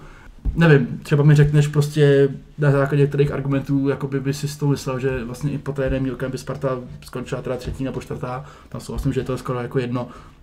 Já si to teda absolutně jako nemyslím. Hm. Jako Já vůbec si to, říkám, nerad, nerad, nerad vůbec je to, prostě a je to, něco, co je a je to samozřejmě jo, prostě přesně tak, je to jako A víc tam byla ta korona pauza, to zase to- prostě, a, a další je to- věc, jako Václav Vítek taky neměl prostě nej, eh, nejkomfortnější pozici v tom smyslu, že prostě půlku hráčů, co teď hrajou, neměl ani k dispozici, jo, prostě je to takový, No, Štětinu tak- taky držel v sestavě, dokud mu neudělal zase další chybu a zase další Ale, chybu. ale A nebylo to zajímavé je, že, že, vyhodil, že, že, že jako to Štětina ty chyby nedělá. Ale jakoby, jo. Já bych, no je to tak, no ale tak Štětina sám to říká, že on Ano. jako zapracoval na sobě v hlavě, nevím, Ano, ale- Myslím, ale je tam jedna věc, kterou jsem říkal už když, když ty chyby nastávaly, a nevím, jestli jsem to řešil tady, nebo jsem to psal, a bylo to o tom, že, že na stopery nám chodilo hodně míčů, jak se zvyšuje ta pravděpodobnost té chyby logicky, tak to teďka je lepší třeba. Jo. No. Ale ne, a, a, a, hodně velký rozdíl je Hansko, který zkracuje to hřiště, jasně. Ale to je opravdu herně zase jeden z detailů nějaký mozaice. Ale ten detail je, je, on to podle mě takhle myslel, tak No. já se nechci zastávat. Ne, jasně, prostě- já ho taky nechci nějak vůbec jako pranířovat, to chrám Bůh, ale třeba si pamatuju, že byla tiskovka vlastně s Kotalem, když ho vlastně představovali jako trenéra prostě Ačka, tak jsme se na to právě ptali, jako co teda s tou obranou. A tak člověk čeká takovou tu klasickou frázi, že se musí to vyhodnotit něco. A on první větu, co řekl, tak řekl, že prostě si všimnul, že Sparta má špatný defenzivní postavení a že se to musí upravit. Jo, jasně, je to jako detail, ale ten detail má prostě z mého pohledu jako obrovský přesah. No. Přijde ti vlastně trenér a hned to jako vidí a hned to řekne na tiskovce, tak to je z mého pohledu, pohledu trošku jako obžaloba toho trenéra předchozího. Jo. A Václav Kotel nikdy, jako Sparta, podle mě pod Václavem Kotelem, to nikdy nebude jako gejzír, jako herně, že z toho budou jako všichni úplně unešený, že to bude fantastický. To si nejsem úplně jistý, ale prostě bude to účelný a ponese to prostě výsledky a jestli to není to, co tohle chvíli Sparta potřebuje. No to Podle nepochybně. mě primárně. A, a eh, Sparta prostě bude defenzivní tým, prostě bude nějakým způsobem, ale se sázkou na eh, rychlostní typy hráčů, takže zajímavá směrem dopředu. Možná ne tak rádoby dominantně, jak chtěla být po té Remílkem, což samozřejmě vůbec nebyla, že jo, to je jako úplně jasný. Ale je to jenom o tom prostě si na to zvyknout, nebo prostě přijmout to jako za svý, že Sparta bude prostě jiná, že bude jiná na základě toho trenéra.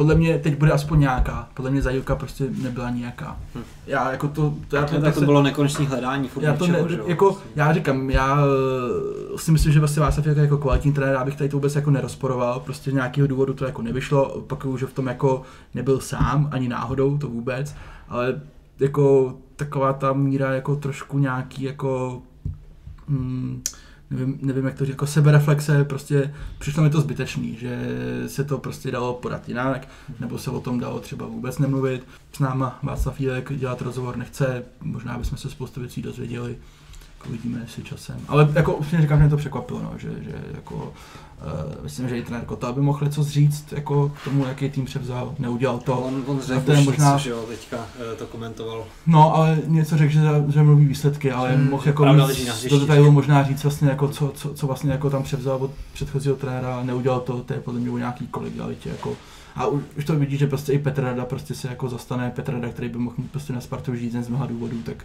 tak se prostě okamžitě zastal trenéra Kota a nebyl zdaleka jediný, takže myslím, že se tím Václav Chýlek jako škodí, ale vlastně jako úplně zbytečně, že, že jako ta, ta jeho image, kterou měl podle mě velice rudou, když přicházel do Sparty, tak, tak si pod ní prostě furt šlape a vlastně podle mě k tomu už ani není jako důvod. Jako, počkejme, počkejme rok, půl roku, on se vrátí do Sigmy a ukáže se zase, jak na tom je. Tím se nás.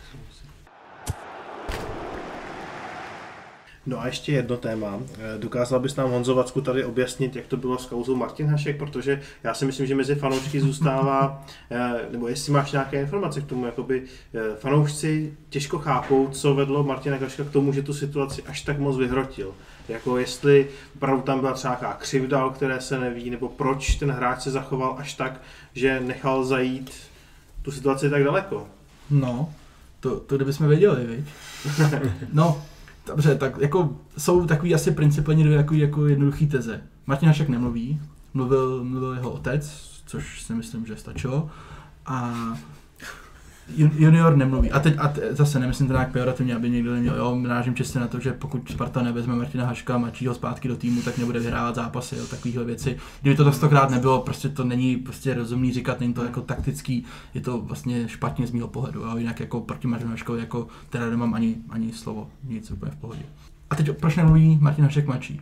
Tak buď prostě nechce, protože si šetří nějaký patrony na nějaký to soudní řízení, anebo nemá co říct. Což z mého pohledu je taky varianta, protože furt se všichni jako baví o tom, že až vyleze ten Martin, tak teprve jako se to všichni jako dozvíme, jak to jako vlastně všechno bylo. Ale co? Co jako, co on vlastně jako může říct? Nechce se mi věřit, že by vlastně při takhle sledovaný kauze, kterou jsme sledovali nejenom my, ale samozřejmě konkurenční média, by prostě něco takového jako nevylezlo. Já jsem se tomu věnoval prostě strašně dlouho a dospěl jsem jako k tomu, že Martin Hašek tu svoji obhajobu bude stavět na tom, že mu byly přislíbeny nějaké věci, které prostě pak nebyly dodrženy. Což samozřejmě není ideální a, a nikdo tady nebudeme jako si hrát na to, že Sparta s hráčem vždycky jedná jako správně. Vím, že tam byl nějaký příslip prostě kopaček na míru, který, který on jako nedostal, to je samozřejmě špatně. Ale zase, je tohleto věc prostě na to, aby ty si šel do jako takového sporu a takového rizika. To, že ty přicházíš do Sparty a Tomáš Rosický ti řekne, my s tebou počítáme na tady tu pozici a ty po roce zjistíš, že vlastně hraješ jako na jiný pozici. A máš pocit, že jsi podvedený tím klubem, protože ten ti přece slíbil, že bude hrát tu osmičku a ty jako hraješ jako tu šestku a vlastně se ti to jako nelíbí.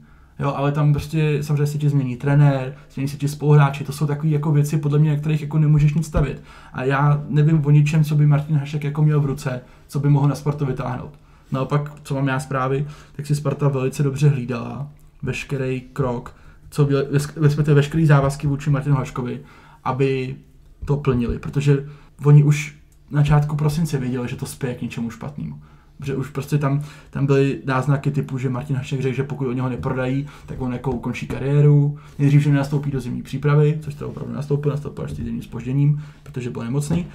A pak výhrušky typu, že radši ukončí kariéru, takže Sparta jako dopředu tušila, že tam bude, že to spěje k nějakému průšvihu, takže už dopředu přišel pokyn, hele, my ale musíme vůči němu všechny termíny dodržet, všechno, co je ve smlouvě, musíme prostě si hlídat, aby on nás případně na ničem nechytil, což se údajně mělo i stát, je taková zpráva.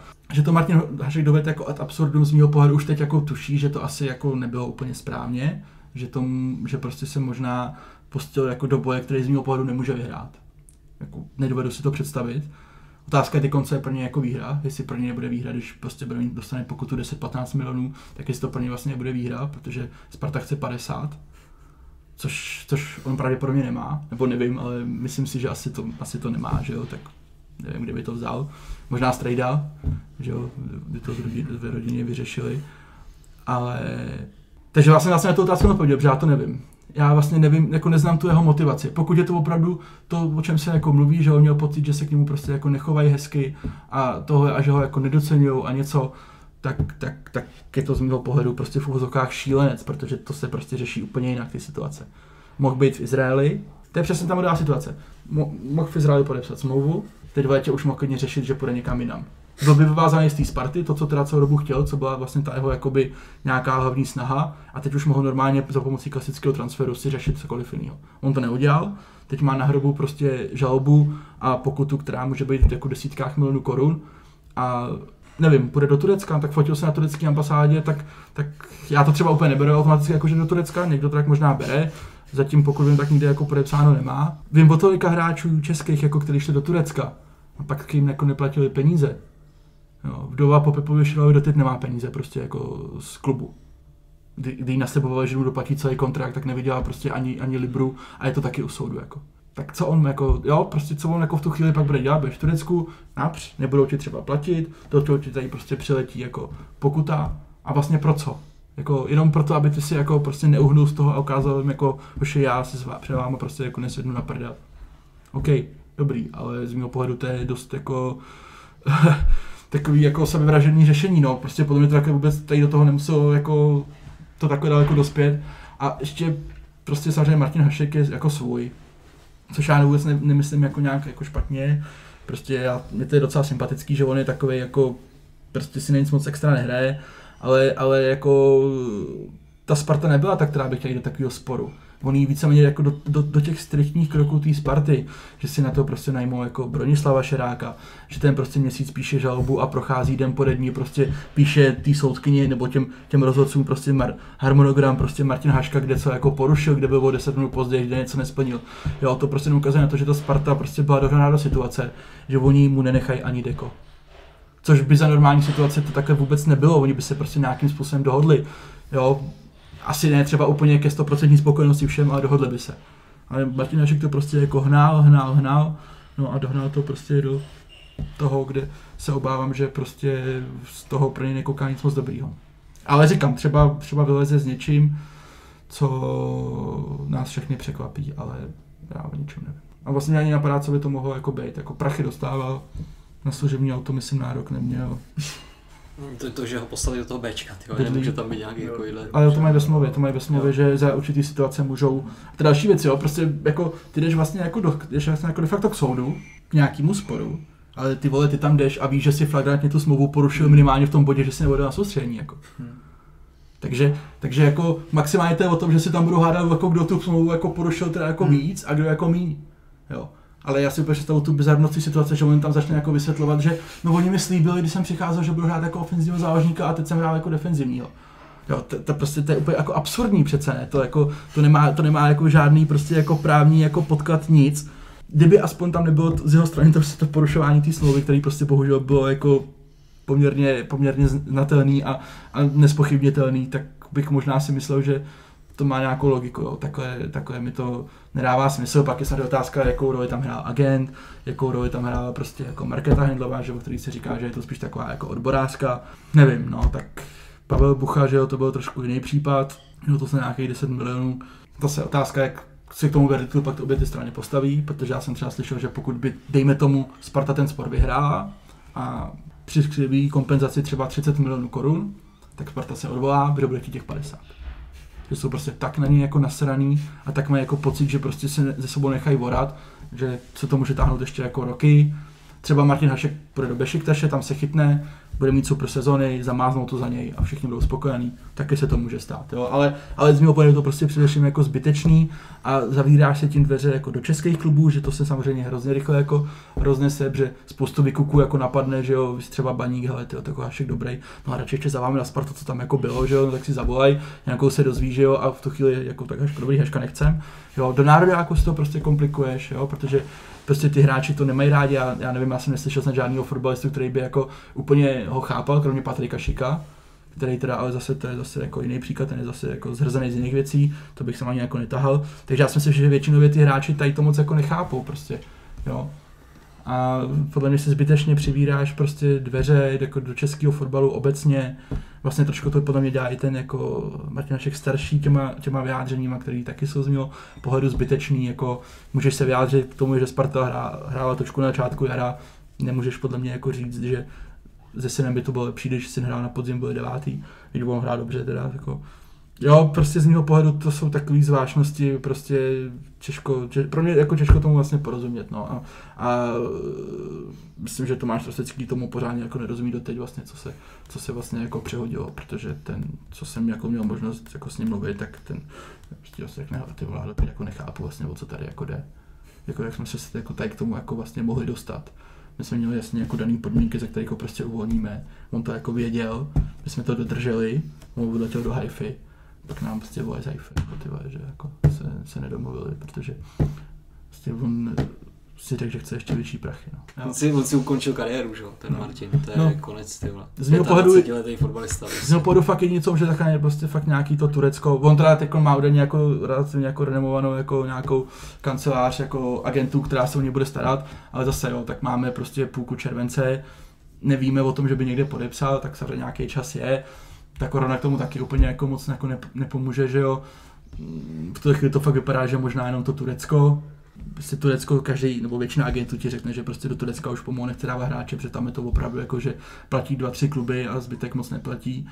Jo, vys, vys, kdysi, to je taky už asi dva roky zpátky, nějaká nabídka, nabídka Galatasaray na Benjamina Teteha, kde byl zpátky kalendář asi na 12 let, jako, jo, to prostě, jako, si nemáš vatu, tak to rozházíš, prostě, to, jo, takže prostě se snad říká, že to pro ně smutný, těžký, Hypotéka na TTH, ty. No, no, no.